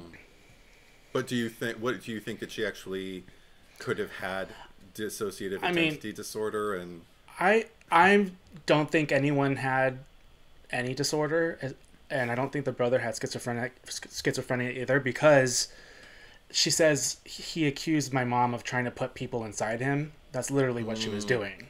Right, So, that's true. But if you look at it from like a medical standpoint, you're like, oh, that person is schizo.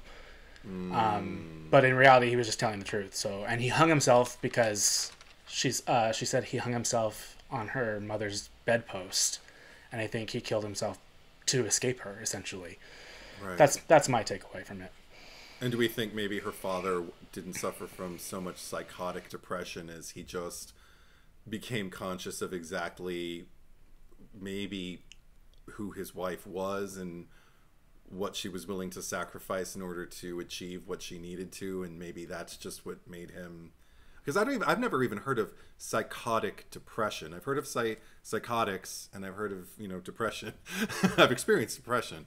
Um, some people might say I've experienced psychosis, but um, combined together, I don't know exactly. I, my sister is a therapist. I should ask her. We didn't talk about it that much after the movie because that's not what the movie's about. But I'd, I'd I'd be interested to hear her opinion about any of that. Uh, maybe, I, yeah, maybe I don't know. Maybe the men were just reeling from what was going on the way like the family that we're watching now the grams are were are, you know are reeling from everything that they're experiencing and it seems to manifest in ways that we can label with science because of the symptoms the symptoms Yeah. seemed that they can be attributed to this and that but there's a whole other story that no one in the science world is being privy to. Uh, It's interesting then on. that uh, Stephen is quite literally a, a therapist because he's sort of like the antithesis of the, the you know he he's the one that's like bringing in like the the, the medical aspect and like the the logic of it while you know I I don't know if that was something that I necessarily needed to see explore more, but that might have made his role seem a little bit more um, important. Uh, if there was this, because it, it's not really till the end that he's just kind of like, it was you, like you, you like desecrated the the graves and you put the bodies up there. Like he just like full on like goes off on her and like you know doesn't want to listen. in, Yeah. he turns into Mary in her final moments in Psycho 2. You did it. You did it all. and then spin, spin out of Yeah. the frame as you get shot. but um I mean, there are so many things that I that I I feel like I could literally do a pod about this movie once a year. Like every year, watch it again and sit down and discuss. Okay, what did you get from it this time, and what you know what what what what affected you? Because another thing, I was struck by Annie's uh, presumed neutral view of the accident when she was creating that miniature of it, and I'm watching it and I'm just thinking like, oh, she's she's going there. She's making a miniature of the accident. Okay, she's processing. She's doing what she needs to do to kind of like make some sense out of it. Cool. And then walks her husband, and immediately Steve is just kind of like, "What the hell is that? You know, like, what do you think your son is gonna think of?" I can't do Gabriel Byrne's accent, but like, what do you what do you think your son is going to think about this? I, I don't know. I don't know how Irish he was in this movie, but um, he's always a little Irish. But um, he's just like, what do you think your son's going to think about this? How do, how do you think this is going to affect um, uh, Peter and all that kind of thing? And I'm just kind of like, oh shit, you're right. I didn't even think about it that way. I'm just thinking, well, she's an artist. This is what she does, and maybe it's good that she can like develop some kind of perspective on this. And I just love that her her argument is it's a neutral view of the accident. It's not about him. I actually believe her when she says that, but I know there might be people who think it's a passive aggressive punch. I toward th- yeah. I mean, just judging by her response to Joan in that scene that I mentioned, where she's like, "How how's your relationship with your son?" and she's like, "Oh, you know, like you know, just not actually acknowledging it." I think that she's in denial about a lot of things, obviously, and I think that just based on the how the movie opens of just how it's sort of like whatever this uh, higher power is that's playing God with these with these miniatures in this house. I think that her cre- recreating the scene is her way of kind of like taking back some semblance of control over her life, um, and that's why you know probably her destroying her entire like thing that she's building is is symbolic of her completely losing control obviously. Um, so that's you know her to, to create the recreate the accident was was therapeutic actually i think i don't think it was like oh it's just i'm just trying to like get whatever the line was a neutral view. yeah no, no. well, I mean, she, I I drew a parallel between that and her the way she told the story about the paint thinner and the matches with the kids waking up and they're all covered in paint thinner and she's holding a lit match and she's like and I immediately put it out because of course I did you know like she's got this attitude like because I would never do anything like that. And it's like but, you, but well you did. I mean you can understand where your kids are coming from. They're terrified. She's like but I never and no matter what I said they would never believe me. And I'm just like okay so maybe maybe she there are things that even Annie so isn't beautifully too. Yes, she did. But maybe there are things that even Annie isn't willing to admit to herself about like her own uh complex feelings. Like I don't think she hates either of her children, but I think there is this maybe it's also just like an attempt to again like you're saying wrench control from her mother at that point because if she destroys her children and herself, then her mother loses control of all of them. And maybe that's the only way she could see in that sleepwalking, like subconscious state, a way to just escape her mother and, and have her children. And so this act of destruction is actually an act of protection, maybe in her subconscious mind's eye. I don't know. It's so complex. maybe Like- it's like I said, I could talk her about it subconscious or maybe it's like the it's the powers that be who are like you know there's this like war being waged uh, in in the, the nether worlds where they're just like king Paimon is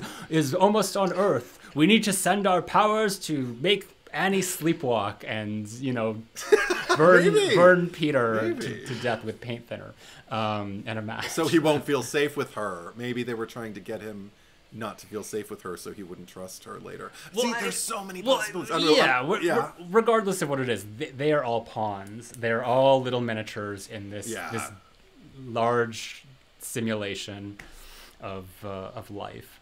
Yeah, and to go back to like them being pawns and it, it all being orchestrated and their fate is sealed, like again the genius of Ari like foreshadowing. I don't know how um, much you guys have noticed the the uh, symbol for the the cults.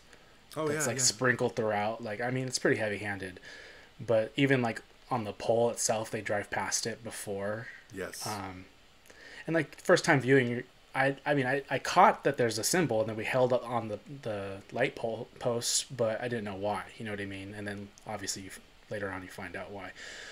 But yeah it just I don't know.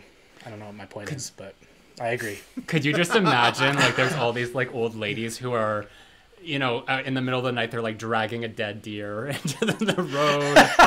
they're painting like the symbol on the on the pole, and they're naked the entire time too. They're not doing it. see Someone Zack they're waiting until that- like the, the the Grams are not at home, and they're like taking all these like decapitated corpses and putting them up in the attic and just you know painting shit on the walls. They're just like, we gotta hurry. They're gonna be home any second.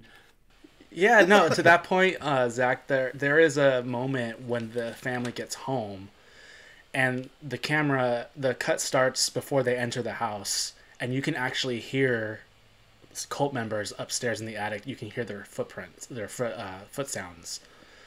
So there's little details like that throughout. Or when um when uh, Peter's smoking in his room and he blows the smoke out the window, off camera you can see someone's breath um, in the cold that someone's watching him. yes. Uh, yeah, There's little things like that time. throughout. Um, but yeah. But I do love Zack always has that other movie playing in his head, like he does for like the Scream movies and like the behind the scenes of the we villain. needed the, the, the- as I like to call it, the wild things end credits, where we Yes. see everything play. um, well, Joan I- is I kind mean- of like well, who's the character in Rosemary's Baby, like the the neighbor. The neighbor. Oh, Ruth Ruth Gordon's role. I don't remember her character's name because I haven't seen Mm-hmm. Rosemary's Baby in a minute. But Ruth Yeah. Gordon played her. I know that. I know Yeah. you're talking about. Yeah.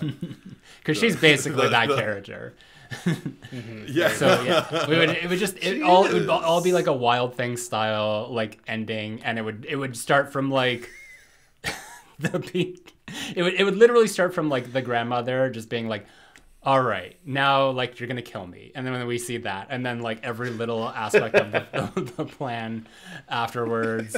Um, in another movie, I, it would totally like fuck up the tone, but in- any other movie, it would have. This is why like they should film this stuff for deleted scenes on the Blu-rays. Like, give us give us like bonus features that we can really sink our teeth into. But I feel like it gives it. It naturally has an air of satire if you just kind of pan the camera away from the family fighting, and you just kind of see old people just kind of like, you know, or something. I don't know. I just love how that's where Zack's mind goes. I love it. So, I know.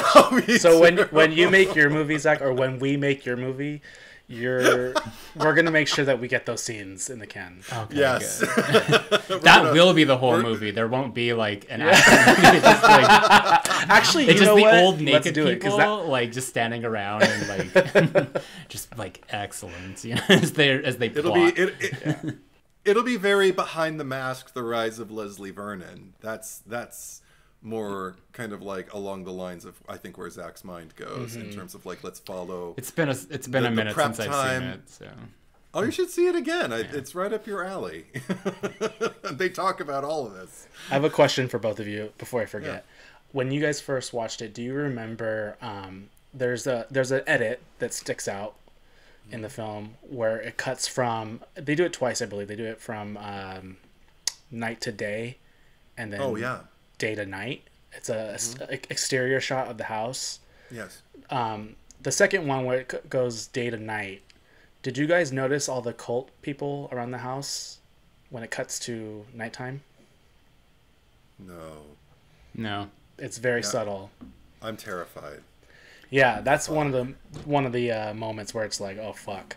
Um, Oh, and when I first watched it, I did not notice it, but on repeat viewings, they're there and they're very visible. So I'll be sure Oh to I'll be sure to include that on the video pod. I th- I think I've only seen it about four times now because I, I I knew when I bought it I'm like I don't want to overwatch this because I don't want to get used to it. Um, I kind of liked feeling the trauma every time, but actually this most recent screening was the least traumatic for me. I think I feel like there was a little bit more room for I don't know about levity, but room for just other things. Like the trauma's there, but it's also th- there's so, there's so much to this. It's so dense um, with things that you can u- use to occupy your focus that you don't just have to sit there and be re-traumatized all over again. There's so much more Yeah. going on, and even if you just want to lean back into like the beautiful aesthetic of the film, because films that are this brutal, emotion on an emotional or psychological level aren't usually this beautiful to behold in terms of the way Ari Aster and his team frames shots and executes them. And it's, I mean, I could turn the sound off and just go. I mean, except Oh, for no, the you need the sound. head. No, you do, but I mean, I, I'm just saying, like, if I if I wanted to have maybe the the the the cal- most calm experience, I'd probably have to like you know shut my eyes when they expose the decapitated head, you know, or Cutting into the when pigeon. Toni when Toni Collette's doing that thing with her neck. Well, I think most of that is the that's- sound design. It's like you know, like just seeing it as it is. It'd Oh, but her comical. face, her face too, though. Like, oh god, the Love it. oh So god, good. It's and the so- score, we have so to good. we have to mention the score. The score is really good. Oh yeah. very I don't- good.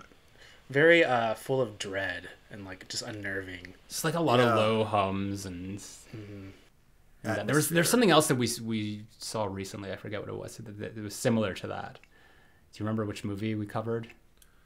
We've covered so many, Zack. Ooh. This is episode 71. Yeah, I remember Uh, was you mentioning it. it was recent. yeah. Um, Here, let me just turn back in my notes and see if I can find it. It wasn't prom night, Well- was it? I don't I don't think so. Maybe. Um might have been. Well, Freddy's I'll- I'll- Revenge, maybe. No. Um, well, I'll just say that. Um, I think the the thing with this movie, um, it's just like because I don't know if it's missing anything per se, like like like what you said, but it's it reaches such a crescendo early on by the end of the first act that it's sort of like not that it necessarily peaks, but there's definitely issues in the second act where I found it just the story kind of meandered a little bit, um, and we saw a lot of the same repetitive beats happen over and over again. And of course, like just because the movie is so stunning and because you have Toni Collette's amazing performance, that it's nothing's like takes you completely out of it. But even watching it um, uh, this morning, actually, um, I I was so engrossed in the movie for probably the first half, and then it got to a point, and I'm like, "Eh, I'm gonna check my phone, um, and I consciously did not want to check my phone at the beginning, but it got to a point. Um, I don't know if it was like the uh, like the second time she ran into um, to Joan or, or, or something. I'm just like, okay, you know, I, I I, I know what's going on here. I don't need to like pay attention to this. That I, what's the runtime on this? Because I, not that I two think Two hours and nine minutes, I think. I didn't. It didn't. It didn't feel long at any point at all. But there's No, no, there's no, no, there was there was like some lags and lulls uh, in in the middle, Two hours and seven minutes. and that seven um, minutes is probably credits. So Yeah, Yeah. probably. it hit the sweet I mean, spot. I, I, I, again, because so much of it is occupied by people just kind of like uh, moving buoyantly within their grief. I mean, I don't know how you.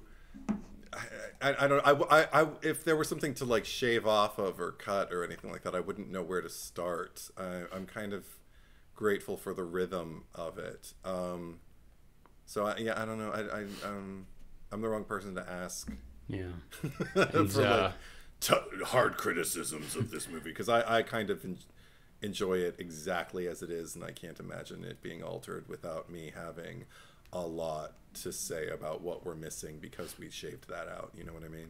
yeah, that's fair. I was gonna say I, I would would have to watch it again with that in mind of like oh what am I gonna cut because when I watch it I, I don't think about that which is a which is a good thing you know because Yeah. usually usually I'm like that we could have done without that scene Right, or, right. or whatever. and for here here I nothing comes to mind but if I, I I'm sure I could find something if I watch it with that in mind um but yeah I think just the fact that like this is you are an editor and you know you, Mm-hmm. you already spoke at the top of the episode about how these are you know things that you're naturally cognizant of. So if like that's something that doesn't register with you, then that's probably you know means that it's a perfect movie Yeah. in your eyes. Mm-hmm. So Well, yeah, close to it. And I mean, the overall, like I like we like we said, like just the cinematography, the sound design, the music, the acting, everything, and then also you know the editing oftentimes goes unnoticed for the casual viewer, but that's usually a good thing, you know, because it's it's the invisible crew member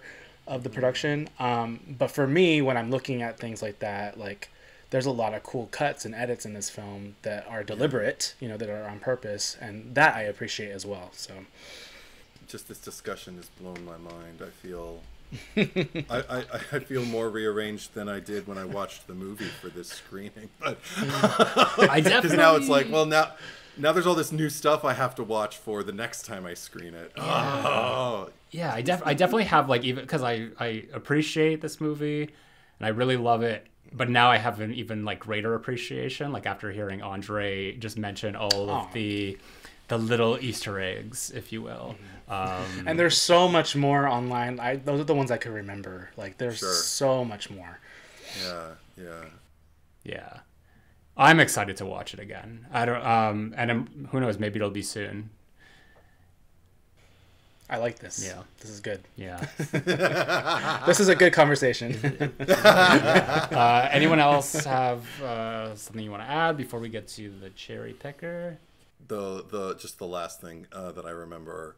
Uh, it was one more thing that I uh, did didn't really understand the first time I saw the movie, and it, it hit me over the head with the first question of the movie for me. I think this time, it was Charlie laying there after uh, Ellen's uh, funeral and everything, her burial, and she just says, "Who's going to take care of me?" And Annie's just kind of like, "Well, I am, and you know, your brother, and you know, daddy, and everybody's just gonna." But but when you die, I'm just like, "Oh my god!" So wait, she could just be like saying it like this could just be like the writing just being kind of like that's gonna happen. She's right to be worried. But also it made me wonder if there's some level that Paimon or charlie is prescient um, of what's coming in a in an abstract way not like because there's this cult of old people who don't wear any clothes and they smile at me in the dark and they're gonna kill you and then who's gonna take care of me? Because i don't really feel safe with it. I don't think it's that yeah. cognizant but i think it's maybe more like you know what i'd really like to know? Because charlie's an artist uh, i'd really love to know what does charlie dream about? That's a question i would love to have answered. I, I, I bet there could be a whole graphic novel, just the dreams of Charlie pre Paimon. Anyway, I think that, that they. That, I think Charlie would just be dreaming about or like King Paimon stuff because it's because it is Paimon. How do you guys think you'd react if, at a young age, somebody told you you were Paimon? and now we're going to worship you like you are the, one of the eight kings of hell. How do you think you would have handled that? I think that. Um, well, are we saying that if like one of our parentals told us this, or just like some yeah, but also, person? but also, but also, then there's these people. Like, there's a lot of people around yeah. you telling you this is the way it is and this is who you are. What do you think you would have done with that? I mean, I have always I thought that. I mean, I've been told um, that I wasn't a very talkative child. Um, yeah. So I, I don't know uh, at one point. So maybe I would easily be led astray uh, that way of just like any anyone could like easily coerce me into thinking a certain way but i i think like now if someone told me this shit i'd be like talking to everyone i'd be like so the the the nice old lady who doesn't wear clothes down the street told me and they're just like what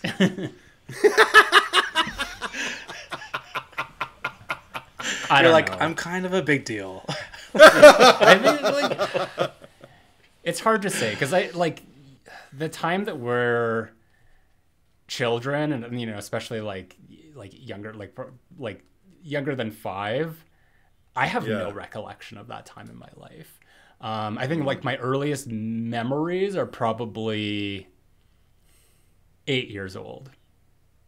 Oh wow. Seven or eight. I don't I don't remember anything before that. Wow. Okay. I have flashes. Is that bad? you are both like. No. no. I remember I, I, stuff when I was three. Yeah. Oh wow. Yeah. I, I my sister was born when I was three, and I still have some very vivid memories of particularly the day of her birth, and I have maybe a handful of memories prior to her being born, but uh, well, knowing yeah. you, you probably wrote everything down in like an itemized list, and you know that's how you, can remember. no, I was an artist. I drew like like Charlie. But uh, what about you, Andre? About what? if you were Paimon, what would you? Oh, sorry. Um, I like to believe that if adults were telling me that, that I would just go with it because I I was very I trusted most adults at, at, a young age, and you know I did what I was told. I was a, very mm. obedient obedient kid. So if they were convincing me that that was the truth, I would just probably go along with it. I don't know. Yeah. It's hard. It's hard to say. That's a very interesting question. Yeah. I, I think I would be a terrible Paimon because I would not like adhere to any of the rules or responsibilities at all. I'd be like, fuck that. I don't want to do that. That sounds yeah. like a lot of work. Be like, whose idea was it that I'm the god of mischief? I mean, come on, people. I mean, obviously, but you know, like, I don't want to. I, I just want the title. I don't want any of the responsibilities. That'd be a good username, Zack. Terrible Paimon. Terrible. Or a good band, or a good band name. That'll yeah. be our band. Terrible Paimon. I'll play the tambourine, but uh, I'll play the triangle. Yeah, I think I I I, I think I'm. I'll sing. Uh, I, I... Yay! Uh, we're gonna be uh, just some per- so the simplest percussive instruments. Andre and I and Zach just singing with a triangle and a tambourine in the background. Oh my god! on sale We'll have somebody lay like some some sick beats, like some synth tracks, you know, just so there's something else going on. Anyway, but no, the reason I ask is I, I'm I'm intrigued by your answers because I feel kind of the same way. I think I would have. I, I actually I worry about myself. I think it, given too much power at too young an age, I think I would have just ate it up. Just been like, well, it's about time, and then the monster would have come out. Like I'm a very all or nothing person. A lot of I always knew I was a diva. Exactly. now I just have people confirming what I already knew. So why aren't if I if I if I understand our roles correctly, you should be fetching me something to drink and I should be drinking it. So come on, hop two. I'm King Paimon. We're, we're just a, a bunch of divas here.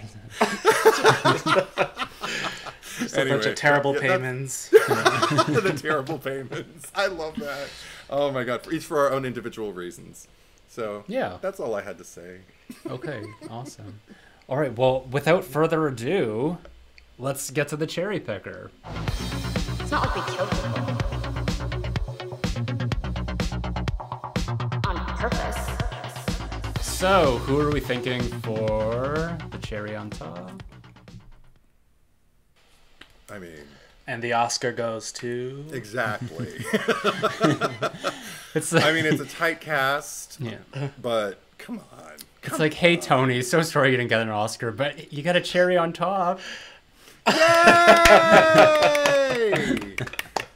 I love it. we should we should find a, a, a name for the award.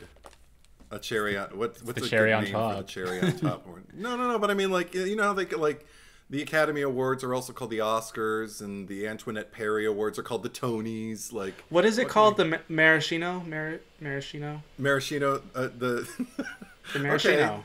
a maraschino. She know. got, she won the maraschino this week. I feel like there's too many syllables in that though. Yeah. That, that's probably Just- true.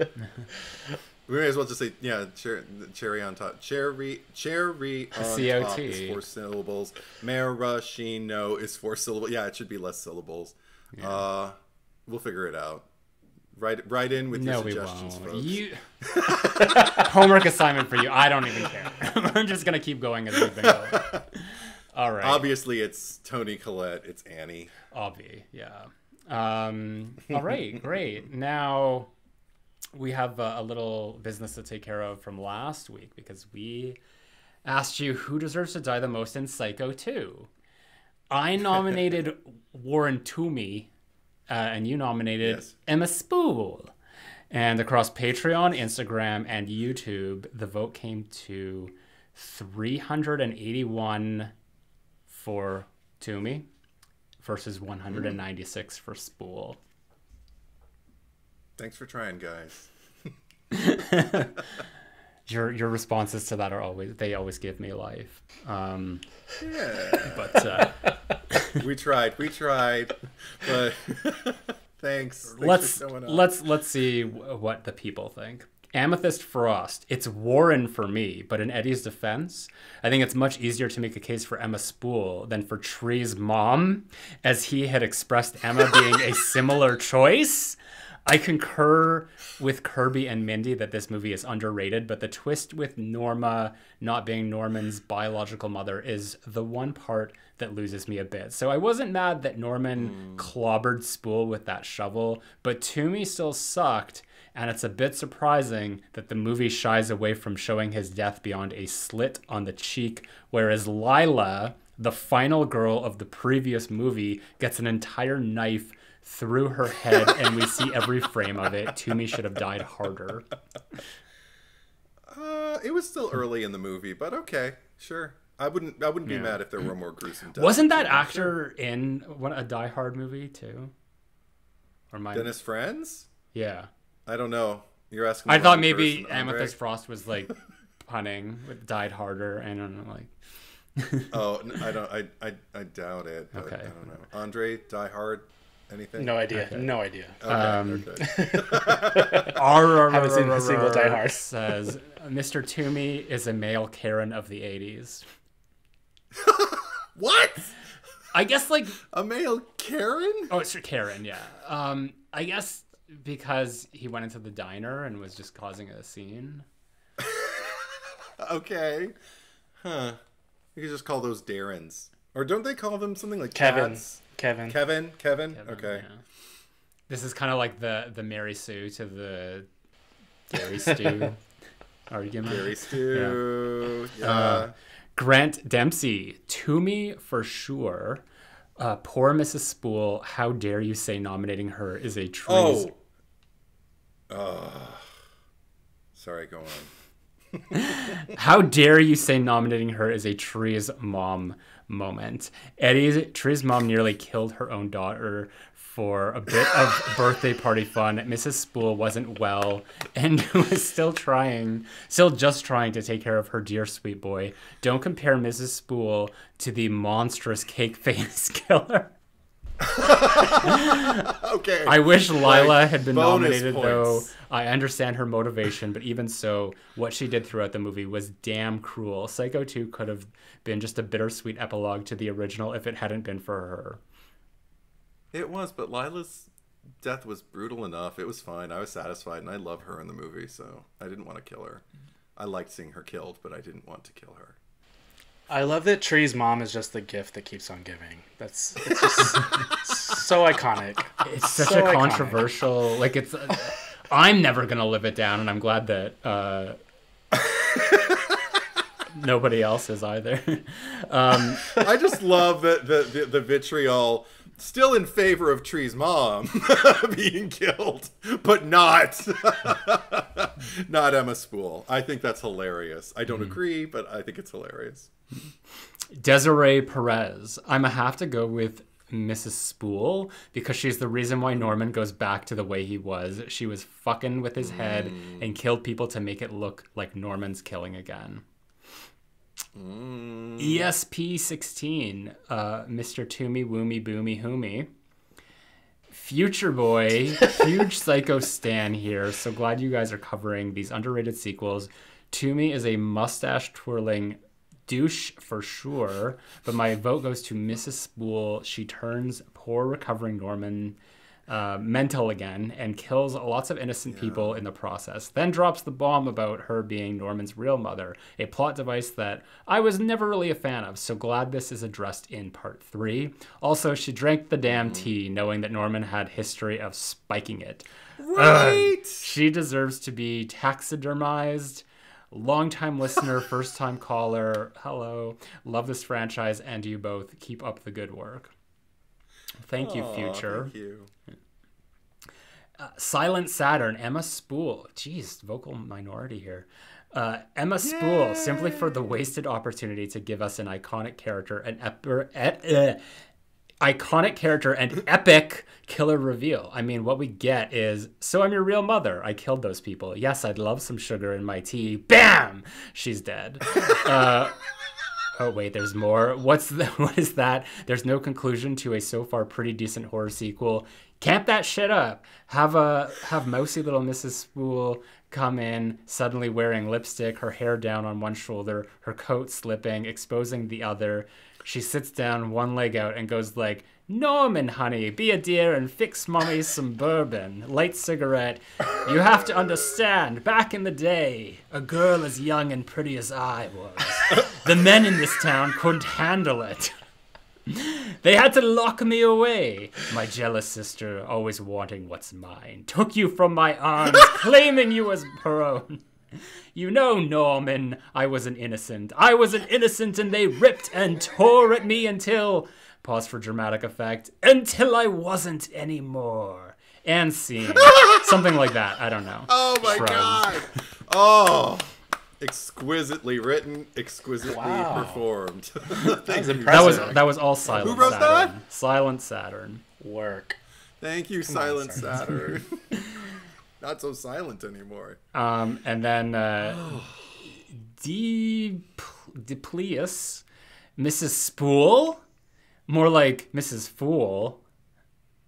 That's it.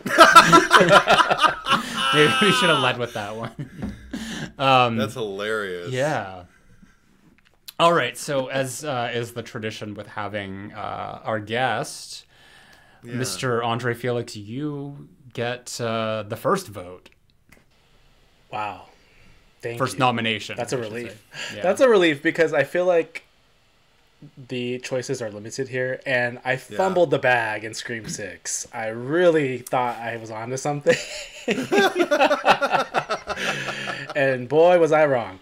So hopefully, this redeems myself a little bit. Um, I'm just gonna say Joan because she's like the master manipulator um, in this whole situation and hopefully I don't fuck it up this time. So yeah, Joan's my pick for who deserves to die the most in Hereditary. Yeah, Joan is a good pick. I'm gonna go for, and I looked up the rules just to make sure that this was allowed. Um, I'm gonna go for Ellen Leigh, grandmother, Okay. uh, because she's really the, the the catalyst of all this. Um, uh, and just seemed like a horrible person and made her daughter's life uh, miserable and killed her husband allegedly and uh, caused her son to hang himself and etc.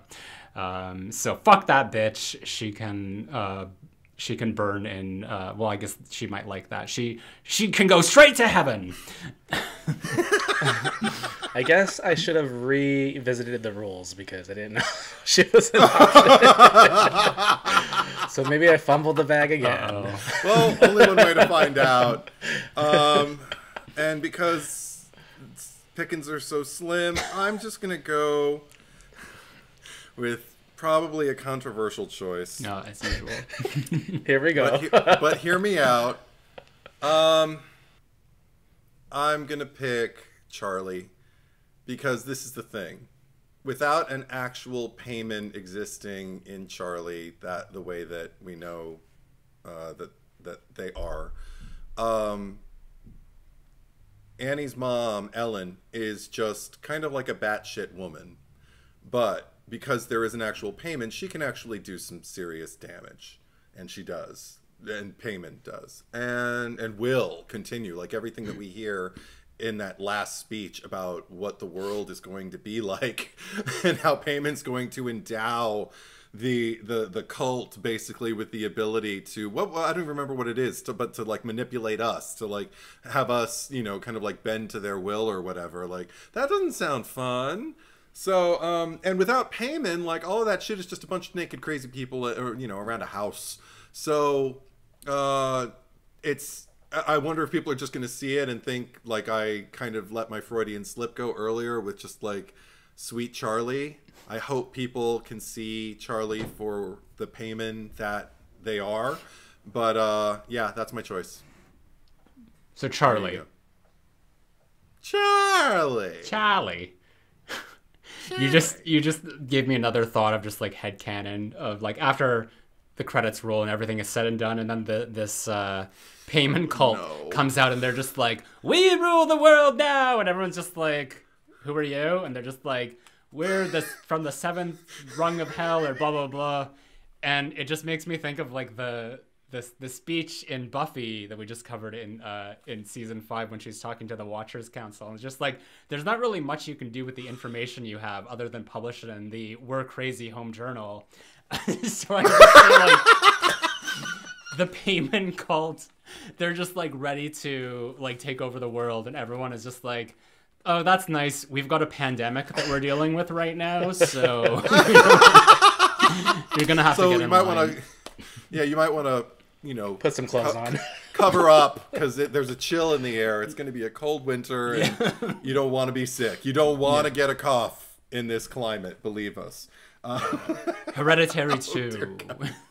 Oh god, Hereditary two. What's next? Yeah. But um, All right. whatever, well, Paimon. those are your nominations. You can vote for Oh, Joan, you can vote for Ellen, or you can vote for Charlie. And uh, the poll will be available on Instagram at the Cherry Picker Pod. It is also available on the YouTube channel, The Cherry Picker. So if you are new to The Cherry Picker and you are listening to this, go watch us on video and subscribe to the channel there. And if you are watching us on YouTube, you can go down to the descriptions and find the RSS feed link and you can listen to us. Uh, so, so neat how that works. Uh, also, if you're supporting on Patreon, if you're supporting my Patreon account, you uh, will also get to vote on there, and you'll get early access to all of our episodes. And you'll also, depending on what tier you're at, get access to our bonus episode, The Cherry Picker After Dark, uh, where this month we are covering Cruel Intentions. Mm-hmm. So, the, very excited for I that. just, You're- I just keep seeing Mia Kirshner on the floor holding onto Chris Evans' leg as he's like pulling her. She's like, "Do you want my help or not?" In not another teen movie when they satirize cruel intentions. Do we have to watch not another teen movie as well? I totally will just So to fun. watch Well, it. I'm. 'cause- I mean, because already I'm feeling like okay, Cruel Intentions, Cruel Intentions two, Cruel Intentions three, the Cruel I didn't Intentions tell you to do that. pilot. I know, but I'm a completionist. The Cruel Intentions pilot with Sarah Michelle Gellar that that never was. Um, uh, Dangerous Liaisons. Valmont and now not another teen movie. Okay, that's a lot to uh, to take on. there might even That's be more something than like season. That's more than season five of Buffy. That's probably probably just as many hours. I don't know. Oh Jesus. um, but anyway, yes. So so go over to Patreon and uh, support uh, the podcast over there. You'll also be supporting my main channel, and I do want to uh, welcome some new Patreon supporters. So uh, give it up for Michelle, Josh Carr, Tamika. And Grant Dempsey, who uh, actually commented just before this. So, Yay, yes, everybody, yes. welcome. well, welcome. Yeah. And also a huge thank you to our editor who could not be here today. Andre Felix. He's busy. Slow clap. Wouldn't that be terrible if this were the way we gave you your walking papers? Just kind of like, thanks, Andre. So this is the last time. It's been nice. It's been lovely. Diva's out. yeah. Divas!